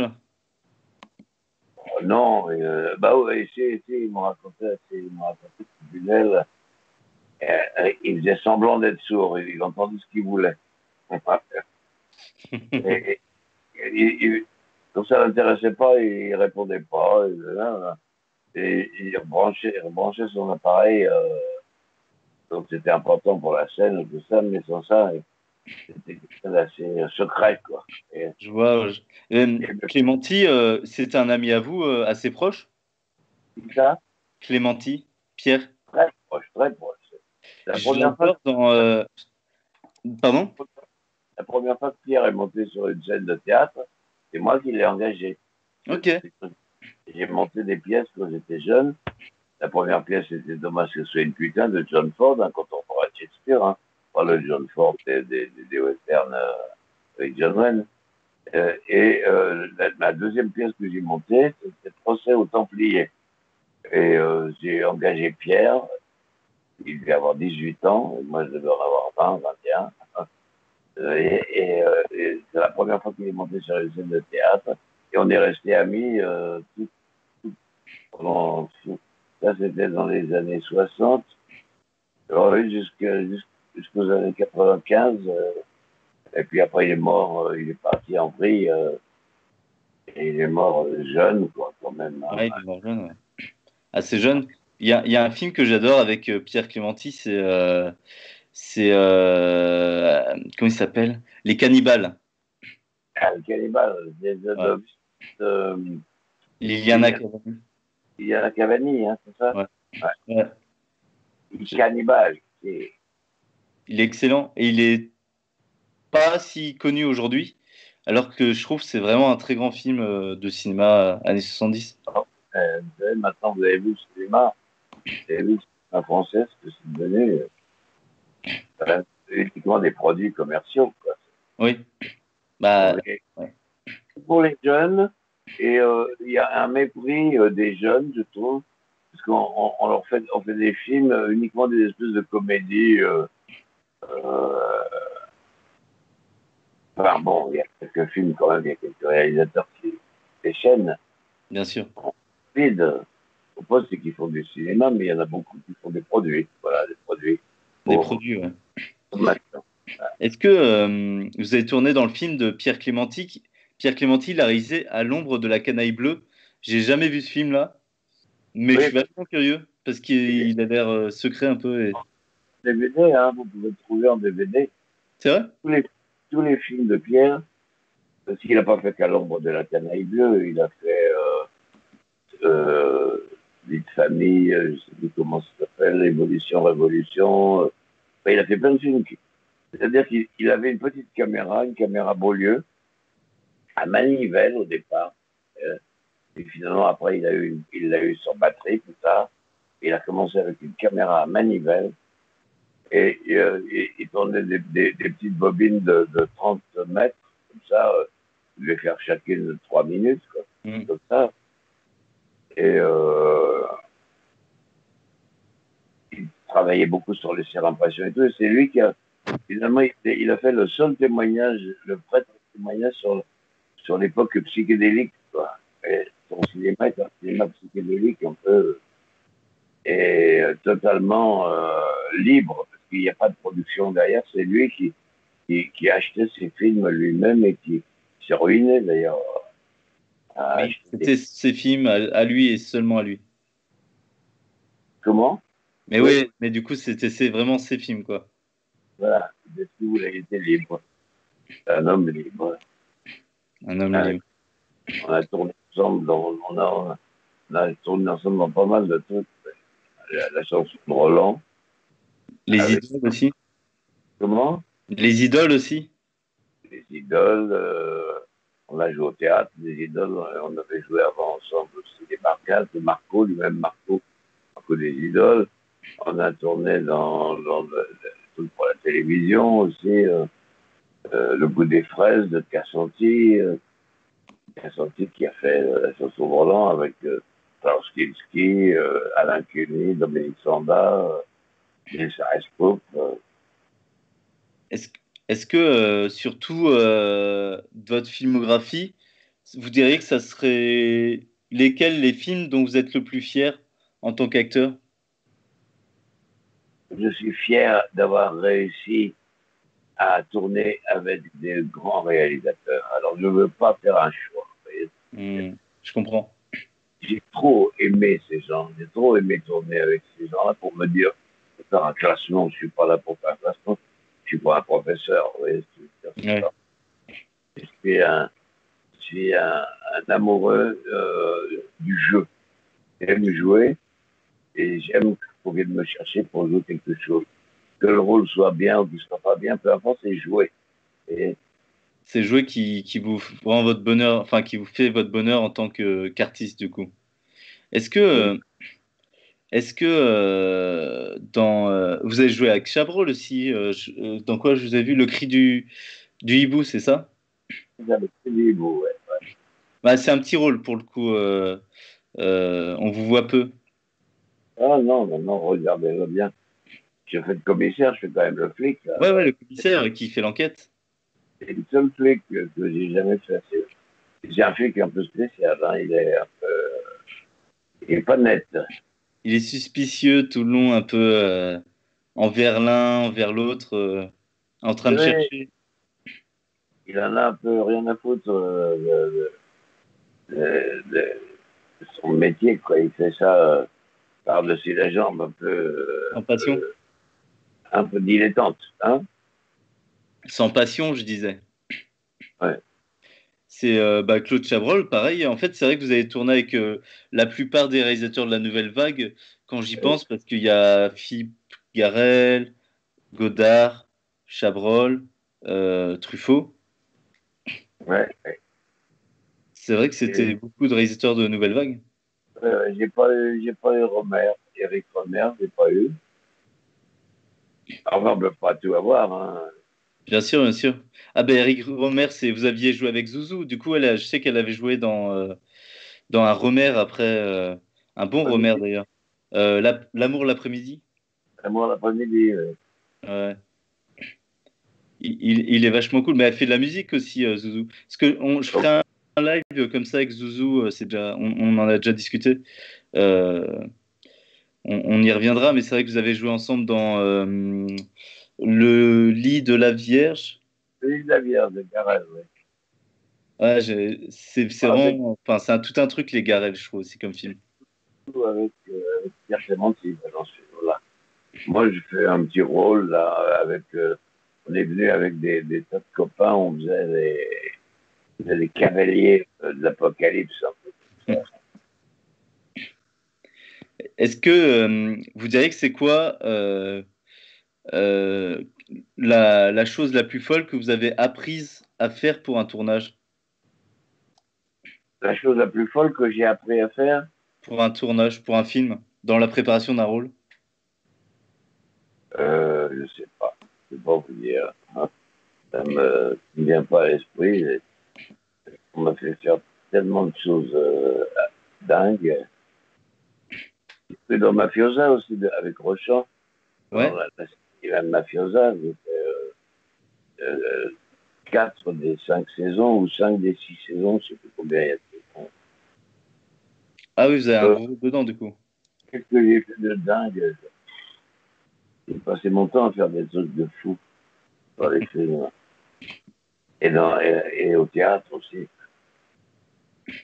Au théâtre, vous avez fait de la mise en scène du coup, beaucoup, vous l'avez continué ça? Ah, Non, j'ai pas continué, non commencé. Et puis alors après, c'était très bien quand j'étais jeune parce que c'était dénué de tout, tout esprit d'entreprise ou de rentabilité. Vous voyez, la première pièce que j'ai montée, c'était Sans un rond. Mmh. Les acteurs gratuits, les costumes, on me des filets. Euh, j'ai joué ça dans les jardins du centre américain. J'ai fait l'adaptation de ma pièce moi-même. Hein, J'avais 20 ans. Euh, euh, bon, ça, ça, a fait qu'un un, auteur est venu me voir avec sa pièce, il avait un peu de sous pour la monter. Et euh, donc, j'ai pu engager des acteurs et monter sa pièce. On a fait une petite tournée en Bretagne. On a joué à Paris au Théâtre Canet, qui n'existe plus. Et après, il y a un, autre auteur qui est venu avec sa Guy Dumur, qui était critique du Nouvel Observateur, le critique du théâtre du Observateur. Il avait une pièce, il avait une petite subvention, j'ai pu la monter au théâtre de Lutèce, qui n'existe plus. C'est pas de ma faute, hein, s'il n'existe plus de théâtre. Euh, mais euh, très vite, j'ai été confronté aux problèmes administratifs. Vous voyez Et ça, c'était pas pour moi. Euh, quand il a fallu commencer à s'occuper de, de, gérer les histoires de sécurité sociale, de, ça, il faut un administrateur, faut tout chose, il n'y a pas d'argent pour payer tout ce monde-là. Donc, euh, je, comme, comme, je jouais dans mes pièces, les gens m'ont ferré et on m'a fait jouer dans d'autres choses et tout. J'ai plus besoin de m'occuper de. Bon, ça, j'aurais beaucoup aimé, hein, j'aime beaucoup ça. La mise en scène, j'aime beaucoup. Ouais, euh, c'est très intéressant de, de, de, de mettre, euh, de, de, faire surgir des acteurs quelque chose. Ouais, ouais puis en tant qu'acteur, ça permet de, de indirectement travailler pour soi euh, à cette réflexion-là de ce qu'est le jeu et, et de comment faire sortir les choses, les émotions. Ouais, je vois ce que vous voulez dire. C'est euh, donner corps à un truc qui est écrit, des, en fait, c'est des, des, des, caractères sur une page de papier, comme ça, puis faire, euh, faire prendre corps à ça et euh, donner une vie, une vie en trois dimensions, euh, avec des personnages qui vivent, qui ont des émotions, qui ont du ou qui rient, ou qui, ou qui pleurent, ou qui, ou qui, qui, vivent des drames ou des, ou des trucs à la maison. Ouais. C'est donner et incarner et faire incarner à des gens, les aider à accoucher en fait. Vous voyez ce que je veux dire? À accoucher, ouais. Incarner, ouais. Mais je trouve incarner c'est un bon terme pour le jeu. Ouais. Incarner, et... mais j'aime bien aussi le mot accoucher, moi. On accouche dans rôle. Hein, vous, vous, le, vous avez tendance à beaucoup les préparer, euh, vos personnages, c'est-à-dire quand vous avez le script, vous, vous, vous êtes dans une approche de euh, de le construire intérieurement, de réfléchir à vraiment comment il est, comment il pense, etc. Ou pas spécialement? Oui, oui et non. Tout dépend. Oui, quand vous êtes avec Rivette et que vous arrivez le matin et que mmh. vous savez pas très bien où va le film, vous pouvez pas faire des plans. Oui, bien sûr. Oui, vous êtes obligé, ou avec Godard et tout, au dernier moment, il me donne, Godard, il me donne au dernier moment à lire un texte de l'Autréamont, euh, euh, les champs de Maldoror, un truc, euh, terrible comme ça. J'ai pas le temps de réfléchir, il me donne ça la veille ou deux jours avant. Ouais. Mais par contre, des fois, j'ai, quand on a une pièce, euh, avant le, le fait d'apprendre le texte, fait que tous les jours, moi, ce que j'aime, c'est me le jouer d'une façon différente tous les jours. Et comme ça, le texte rentre tout seul. Vous voyez, je ne cherche pas à apprendre mécaniquement un truc. Je, me le joue pour moi tout seul chez moi. Je me joue le truc et je me dis, tiens, aujourd'hui, je vais me jouer euh, comme ça, je vais jouer comme de Funès, je vais jouer comme Pando. Euh, après, je dis n'importe quoi. Je vais euh, prendre, des actes, prendre des actes différents, faire sa petite cuisine avec ça. Vous voyez, et le texte rentre tout seul, on s'amuse. On s'amuse à jouer un, un, rôle comme ça, dans, de le jouer euh, dans des axes différents, avec des couleurs différentes.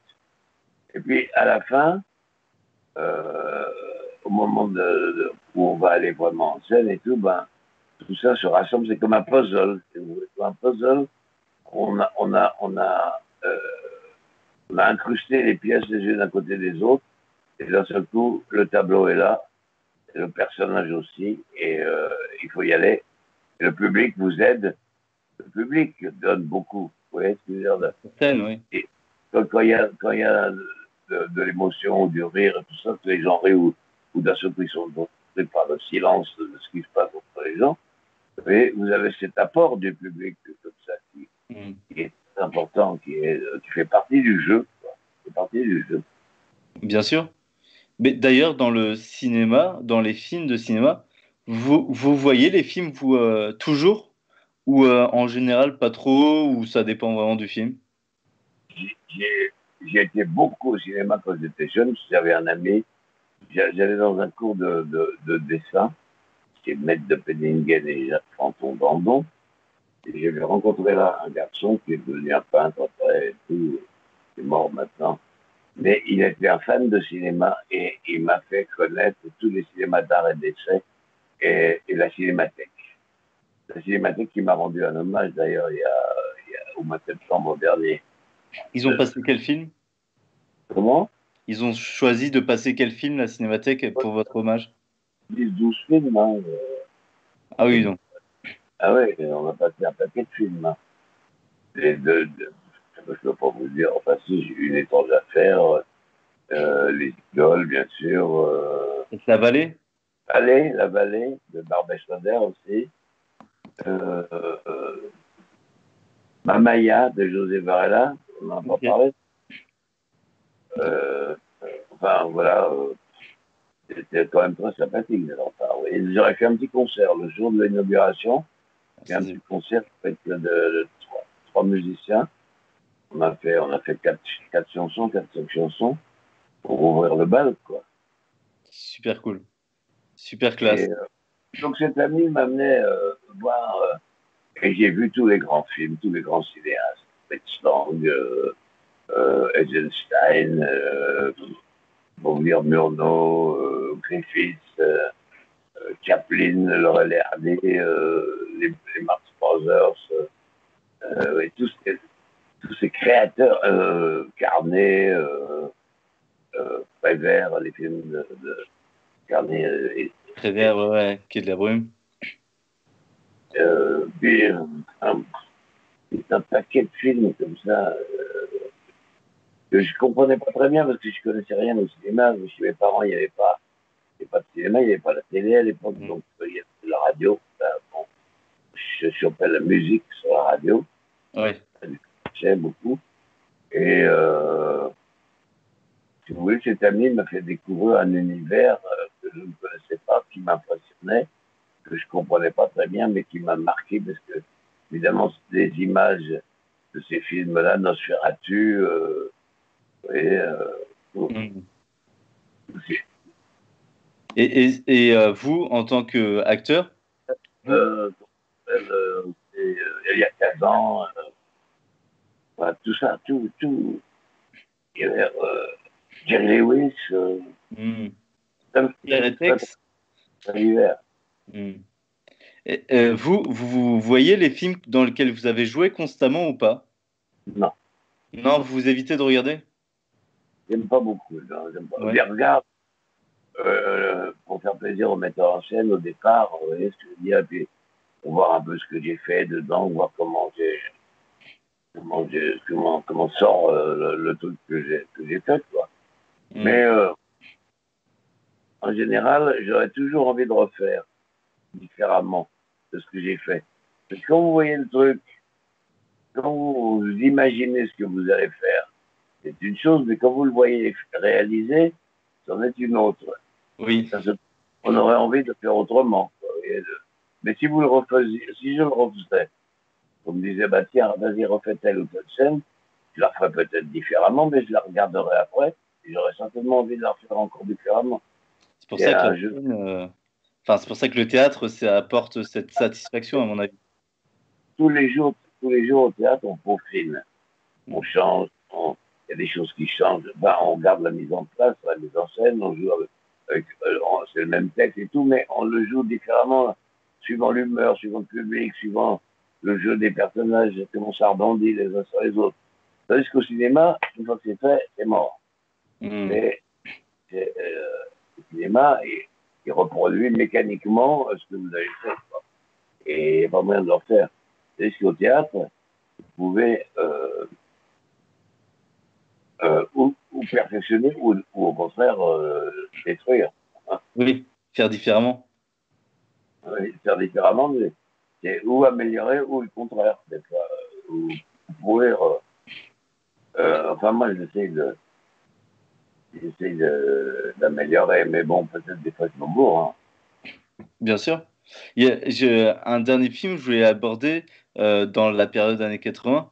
Euh, ça, je l'ai vu entre temps, je ne l'avais pas vu. Je, je, regardais votre filmographie, je vois que vous avez tourné dans une adaptation de Manara. De? Manara. de quoi? De Milo Manara, dans Le Déclic. Ah oui, Milo Manara, oui, oui, ah oui, oui.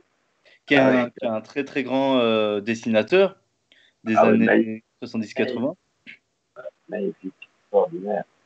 Et euh, un très bon metteur en scène, le metteur en scène, c'est Jean-Louis Richard. C'est un scénariste de La Nouvelle Vague? Oui, déjà, il travaillait beaucoup avec Truffaut. Il a été le mari de Jeanne Moreau, il a, eu un enfant ensemble. Tout ça, et euh, c'est lui qui a réalisé ce film. Mais malheureusement, il était produit par un, producteur qui, produisait les Emmanuel, vous voyez. Oui, donc pour l'érotisme. Ouais, et, donc euh, il avait engagé une fille qui n'était pas vraiment une actrice, quoi, qui était. Certainement, il devait euh, fricoter avec elle, vous voyez. Mmh. Et euh, elle n'arrivait pas à jouer. Ah, donc c'était difficile le tournage à ce niveau-là? Puisque vous avez beaucoup joué ensemble, du coup, avec elle. Bah, parce que je disais, ça devait être difficile, du coup, parce que vous avez beaucoup joué avec elle. Euh, parce qu'il y a vraiment ce jeu dans le film. Ils sont tournés en anglais. Des produits euh, par euh, Alain Siritsky et par Roger Corman. Ça vous dit quelque chose, Roger Oui, bien sûr. Bien sûr. Bien sûr.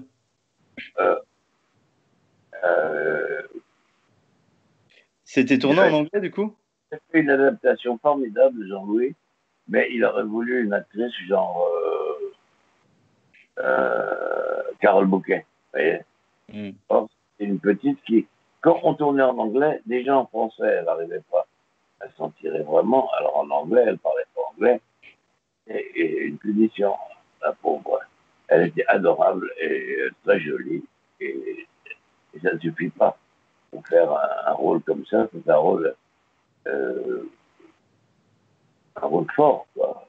Oui, oui, c'est compliqué, hein, parce qu'en plus, euh, c'est vrai que c'est un film qui tourne dans l'idée autour de l'érotisme, parce que, euh, pour expliquer aux gens, parce que le déclic, je pense pas que énormément de gens forcément l'ont vu, c'est euh, donc c'est un, monsieur qui s'appelle Dr Fez, qui est le bras droit d'un homme d'affaires, et il fabrique un appareil qui augmente la libido de, de la dame, de la, de la femme de, de son patron il, lui provoque des, des, orgasmes euh, dans n'importe quel endroit. Euh, Mais, euh, comment il s'appelle Jean-Louis avait fait une adaptation vraiment formidable de ça. Mais seulement, voilà, en plus, alors Jean-Louis est tombé malade pendant le film. Hmm. Il a été remplacé par Bob Rafelson. D'accord. C'est vrai? Bob hmm le facteur sonne toujours deux fois, euh, avec Nicholson et Jessica Lange. Hein. Bien sûr, je, vois très bien. C'est un grand réalisateur euh, américain. Il est venu faire un hold-up de pognon, lui. Donc, il a tourné des scènes. Il n'a pas voulu tourner les scènes qui étaient écrites, il a tourné autre chose. Quand Jean-Louis, quand on a eu fini ce tournage, on est rentré à Paris, Jean-Louis allait mieux, il a été rétabli. Ça lui pesait pas ce que Raphaël avait tourné. Donc, euh, il a tourné d'autres scènes. Quant au producteur, il trouvait qu'il n'y avait pas assez d'érotisme. Donc, avec la fille, il a tourné lui tout seul avec la fille des scènes. C'est pas des scènes, c'est des espèces de, de, trucs un peu érotiques comme ça. Euh, vous voyez, euh, ils n'ont rien à voir. Et ça, donc, le film a été manipulé par quatre personnes. Oh. Il devait pas être autant érotique à la base? Ah, mais si, mais il aurait être érotique, mais d'une manière beaucoup plus subtile que ça, beaucoup plus fine, beaucoup plus suggérée. Parce que les dessins de Manara, Manara, c'est magnifique. Euh, les dessins et tout. Mais pour ça, il faut. Parce que les dessins de Manara sont gracieux. Très beau. Mhm. Donc, euh, ce film-là, il ne fallait pas qu'il soit patrouille. Il soit très patouillé par, euh, par, par, des gens qui chacun veut tirer le, vers leur façon de voir le truc. C'est vrai que. Mais alors, c'est un, un, de vos rares euh, premiers rôles, j'allais dire. Euh, rôle principal dans un film d'ailleurs. Allô? Oui, oui. Ouais, non, j'y pensais, c'est un, un, des, un des rares films dans lesquels vous avez un rôle principal. Enfin, il y en a d'autres, hein, et bien sûr, il y en a d'autres. Mais, euh, mais en y repensant, dans cette période-là en tout cas, euh, années 80, c'est un, un, des rares. Vous êtes très bien dedans en plus. Euh, et vous avez fait la musique, il me semble, de, de fin. J'ai pas fait la musique, j'ai chanté la chanson. Chanté la chanson. À la fin, ouais. Elle est vachement sympa. Écrit le texte, euh, super texte de, de Jean-Louis Charles, justement, et une musique de Michel Muntz. Michel Muntz, c'est celui qui a produit et qui a écrit après La vérité si je mens. D'accord. Rien à voir, oui. Rien à voir, oui, du coup. Ah. Je ne m'attendais pas à ça. Oui, bah, oui moi non plus, j'étais surpris. Quand j'ai connu Michel euh, sur le, déclic, euh, quand j'ai enregistré la chanson, et euh, quelques années passent. c'est quelle année le déclic? C'est 83, 83 ah, 85, ouais. 85 Ouais, la sortie après, donc je sais pas si. Ça tournait avant. 84, Et, euh, euh, et, et, la vérité, si je mens, c'est les années 2000, non? Ouais, c'est ça, années 2000, ouais. Enfin, 90 euh, même, je dirais. 5 ans après, quoi. Ouais, 10 ans après, ouais. 10, 15 ans après. Ouais, 20 ans, au moins, 20 ans. Mais ça a été tourné où le déclic pour le coup? Parce qu'on dirait l'Amérique du Sud. Est-ce que c'est pas, du tout ça? C'est vrai? C'est marrant, parce que dans le film, on dirait pas. Ah si, on est, on est bien dans le décor de Nouvelle-Orléans. J'ai une grosse bagnole américaine, et on est avec des blacks et tout ça. Ah, Nouvelle-Orléans, ouais. Il y a le décor, il y a bien le décor de Nouvelle-Orléans. Si, c'est vrai, ouais, il y a les. Enfin, le bayou un peu, ouais. Oui, c'est ça. J'ai tourné. Euh, je suis monté dans le tramway de mes désirs. Ah ouais? Un tramway, c'était comme ça. D'accord, d'accord. Il y a vraiment un tramway qui s'appelle Désir? Ouais, D'accord. C'est marrant. Bah, euh, on, va, on va finir là. Euh, je voulais un peu, euh, avec vous, voir les années 80. Un, de ces jours, si, vers la septembre, si vous êtes partant, on pourra se faire les années 60-70 et, et euh, toute cette période qui est extrêmement riche aussi. Vous avez fait beaucoup déjà de rencontres. Euh, la Vallée, Schroeder aussi, euh, Romain Gary et. Michel Cournot, les Gauloises bleues. Les Ah, mais oui, complètement. Ah, faudrait qu'on en parle. Enfin, parce que là, du coup, volontairement, je restais dans la partie années 80. Mais Jean-Pierre Calfon, vous, c'est bien plus que ça. C'est euh, aussi euh, une carrière qui a débuté fin années 50 au cinéma et euh, surtout début années 60. Et voilà, pendant 20 ans, là, j'ai pas parlé d'une grosse période. Le film avec Benazeraf, ça vous dit quelque chose Avec qui? Benazeraf, José Benazeraf, le concerto de la peur. Alors, du coup, je l'ai pas vu. Ouais. Je vois le film, mais je l'ai pas vu. Concerto de la peur. Qu'est-ce qu'il a de particulier ce film-là? Il a deux noms, La drogue du vice ou Le concerto de la peur. C'est avec le premier, c'est ça? Musique de Chet Baker et avec comme chef opérateur Edmond Richard, le chef ah. opérateur de, de, Wells. Du procès? Il y a un film de José Benazeraf qui, après, il est parti dans le porno. Benazeraf, mais à l'époque, il ne faisait pas de porno. Moi, je n'aurais pas de porno. C'est marrant. Euh, Edmond Richard, j'ai rencontré lui. Euh, et il est adorable, pour le coup. Edmond Richard. Edmond Richard, oui. J'ai rencontré ouais. il meurt. Il est, il est mort il y a pas si longtemps, il y a deux ans. Euh, et, et c'est vraiment un homme adorable qui a une super belle carrière en tant que directeur photo. et comme vous disiez, il a bossé lui avec Louise Benuel et, et avec Orson Welles sur le procès, quoi. Surtout le procès, c'est tellement bien, enfin, mis, mis en lumière, éclairé. Si vous voyez le concerto de la peur, vous verrez que pour un petit film comme ça, il y a une image extraordinairement belle. Et le concerto de la peur se passe que la nuit, que la nuit, de nuit, avec la musique de Chet Baker improvisée sur l'image. Vous, avez Chet Baker à l'époque? Miles Davis à pour les chapeaux. Et lui, euh, il a pris Chet Baker pour faire la musique en direct. Euh, vous, l'avez rencontré Comment vous avez connu euh, Rurik Salé hmm? De quoi? Comment vous l'avez euh, Je l'ai connu, j'étais jury à un festival qui s'appelle Cinéma Brut. Et, et, on a parlé, on nous a présenté. Comment ça s'appelle? Au festival Cinéma Brut. Brut? Ouais. Brut comme euh, brut. comme, comme brut, c'est un, un, festival de, euh, de films autoproduits. Ah oui, d'accord, ouais. Et, Et on a présenté, ouais. À Lyon? Non, non, c'est à Paris. C'était à Paris. Et euh, moi, je suis à Lyon, effectivement. On nous a présenté, euh, le, le, directeur festival nous a présenté. Moi, je faisais jury là-bas. Et euh, on a discuté, on a parlé du film N avec Klaus Kinski, je me rappelle. Et euh, il était étonné que je l'ai vu, euh, parce qu'il est très peu vu. Et, et voilà. Et moi, je l'ai réinvité après Rurik. C'était sur une séance sur le festival des Intergalactiques. Je l'ai invité à présenter Malville. Ah ouais, C'était cool. C'était cool. il y a... C'était, c'est un, un, super. Enfin, j'aime bien ce film-là. Et, euh, et c'était une, une, cool occasion d'en discuter. Et voilà. Et, euh, et euh, bah, vous pouvez parler un peu de, avant, avant qu'on se quitte, vous pouvez parler un peu de, de votre projet avec, avec Rurik ouais, Notre projet, c'est qu'on a envie de faire de la musique. Vous voyez, on a envie de faire de la musique ensemble. On s'entend très bien. Il, il m'a composé déjà trois musiques. Vous en avez entendu une et vu le clip. Hein. Ouais.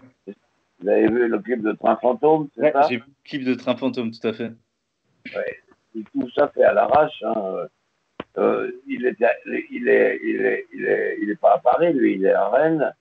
Il m'envoie la musique euh, euh, par euh, Internet. J'enregistrais, ma voix est enregistrée sur, mon télé, sur le micro de mon téléphone portable. Hein. Après, non, il lui renvoie, il mixe, il mixe là-bas, il arrange le truc un peu. Et, et, on a fait le clip une fois que ça s'est déconfiné. On a fait le clip chez moi euh, avec, à l'arrache avec des copains. Quoi. Ouais, mais c'est bien comme ça. Moi, j'aime bien, euh, j'aime bien les gens qui font des, des choses. Euh... Bah, vous voyez, c'est sans prétention euh, le clip, mais voilà, la chanson est, est super cool et, euh, et a toujours votre voix, hein, j'ai envie de dire. Je peux pas chanter avec votre voix de la mienne. Hein. Non, mais j'aime bien votre voix, ouais. Et puis euh, dans la musique, ça, se, ça rend bien. Merci. Et... Alors, on en, a, on en a fait d'autres, il faudrait faire. Il y en a une qui s'appelle euh, Chope le cash. Ok. Et une autre qui s'appelle Méphistophélange. Mé Méphistophélange Oui. Ouais, C'est pas mal. Bien trouvé. Voilà, les deux prochaines. Puis j'ai fait avec un autre musicien, euh, voilà, euh, on, on, on, fait ça quand on peut, quoi. Vous voyez, euh, on n'a pas de production, hein, c'est ça. Ouais, c'est par plaisir, par plaisir de créer. Plaisir de faire ça, et puis on va essayer de, on va essayer de faire des concerts. Quelqu'un m'a donné, m'a dit qu'on allait faire des petits. J'ai une, une, fille qui s'occupe un peu de nous. Il faudrait pouvoir faire un concert dans un endroit au plus et puis aussi dans des appartements. Un mec qui fait des concerts en appartement. Alors, on peut pas gagner beaucoup d'argent, non, parce qu'il y a 35, 40 personnes au maximum, voyez, chez lui. Mais euh, ça nous permet de nous roder. Et puis peut-être un jour, on va choper quelqu'un, on va trouver un professeur pour faire un truc plus, plus vous voyez, pour, euh, plus, euh, plus, qui puisse avoir un peu plus d'envergure, quoi. J'aime bien, moi, les concerts en appartement, j'en ai déjà fait vu. Et euh, ça, c'est assez, c'est assez plaisant, ouais. Vous jouez de quelque chose? Non, moi j'ai eu, alors au lycée, hein, des groupes de rock. Et, euh, et voilà, c'est tout. Mais vous voyez bien, quand on est adolescent, euh, groupe de rock, c'est aussi un plaisir. Euh, et puis c'est assez libérateur. C'est comme le théâtre. La guitare? Non, je faisais le chant. Ah, le chant, d'accord. Je sais rien jouer. Je sais pas. Je sais rien faire de mes doigts en musique. Vous écriviez les paroles? J'écrivais mes paroles. Ouais, ça c'est important pour moi. Ouais, ouais, bah, moi aussi c'est ce que je fais. Hein. La Parce... fantôme, qu'il a écrit. Hein. Bah oui, oui, j'ai vu. Ouais. Ouais, et puis c'est des bonnes paroles. Euh, dans, en plus, bah, vous vous disiez, vous avez sorti un, un, un, titre dans les années 65, un, un CD. C'est écoutable quelque part, ça ou pas? S'appelle Pop Superette, une, maison de Toulouse. Des gens de Toulouse, des petits jeunes comme vous qui, qui d'un seul coup m'ont découvert le premier punk. Ça, c'est cool. Ça s'appelle euh, la chanson hebdomadaire. Vous pouvez la trouver sur mon site, euh, sur, sur ma page, euh, ma page YouTube. D'accord, bah, je vais aller voir. Je vais aller voir ça. Vous l'entendrez, la chanson, la chanson hebdomadaire, ça défonce. Hein, avec plaisir. Je vais m'écouter ça juste après. on, va, on va devoir arrêter là, mais déjà, je vais inviter les gens à suivre la page YouTube de Jean-Pierre, du coup, euh, qui doit s'appeler Jean-Pierre Calfon. Je ne sais pas si je dis des bêtises, mais je pense que c'est ça.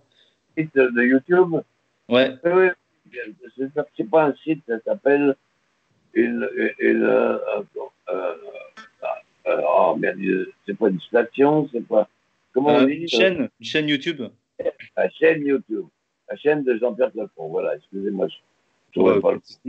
Et du coup, la chanson que vous me disiez à écouter, euh, la vieille chanson, c'est laquelle? C'est euh, la chanson hebdomadaire. La chanson hebdomadaire. Bah écoutez, je vais, je vais m'écouter ça. Et euh, bah, merci beaucoup pour cette discussion, pour cette belle discussion. Et ce soir, je rappelle du coup, il y a le court métrage de Casting. Et là, ce soir, ça a marché. Vous avez vu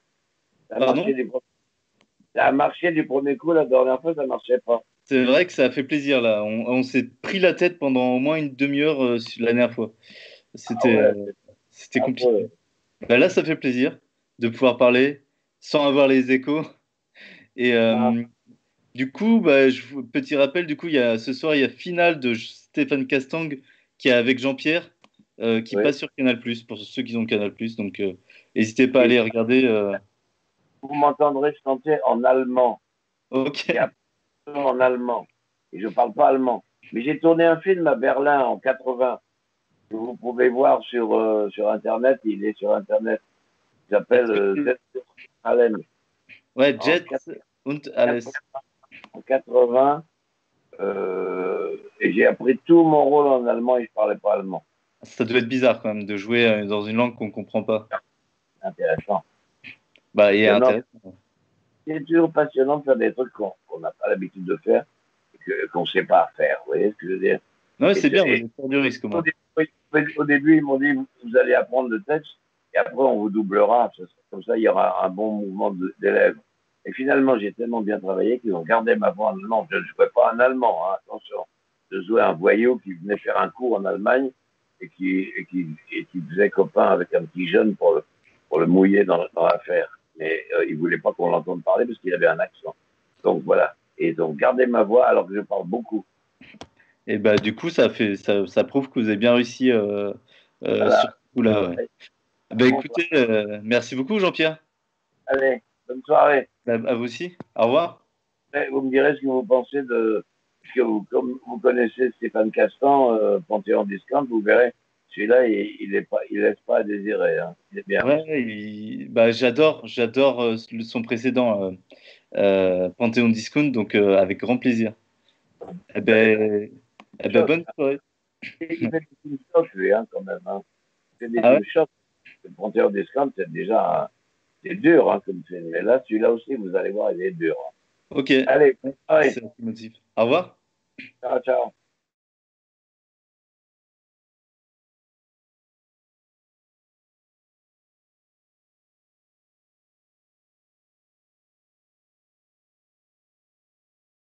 continuer à reprendre en septembre avec beaucoup de gens. Euh, est-ce que je peux teaser des gens qui vont être là? Est-ce que je, bah, il y aura Alexandra Stewart, on a Zouzou, on a potentiellement peut-être Rufus. Euh, donc voilà, c'est des acteurs français ou francophones en général. on a Andrea Ferréol aussi.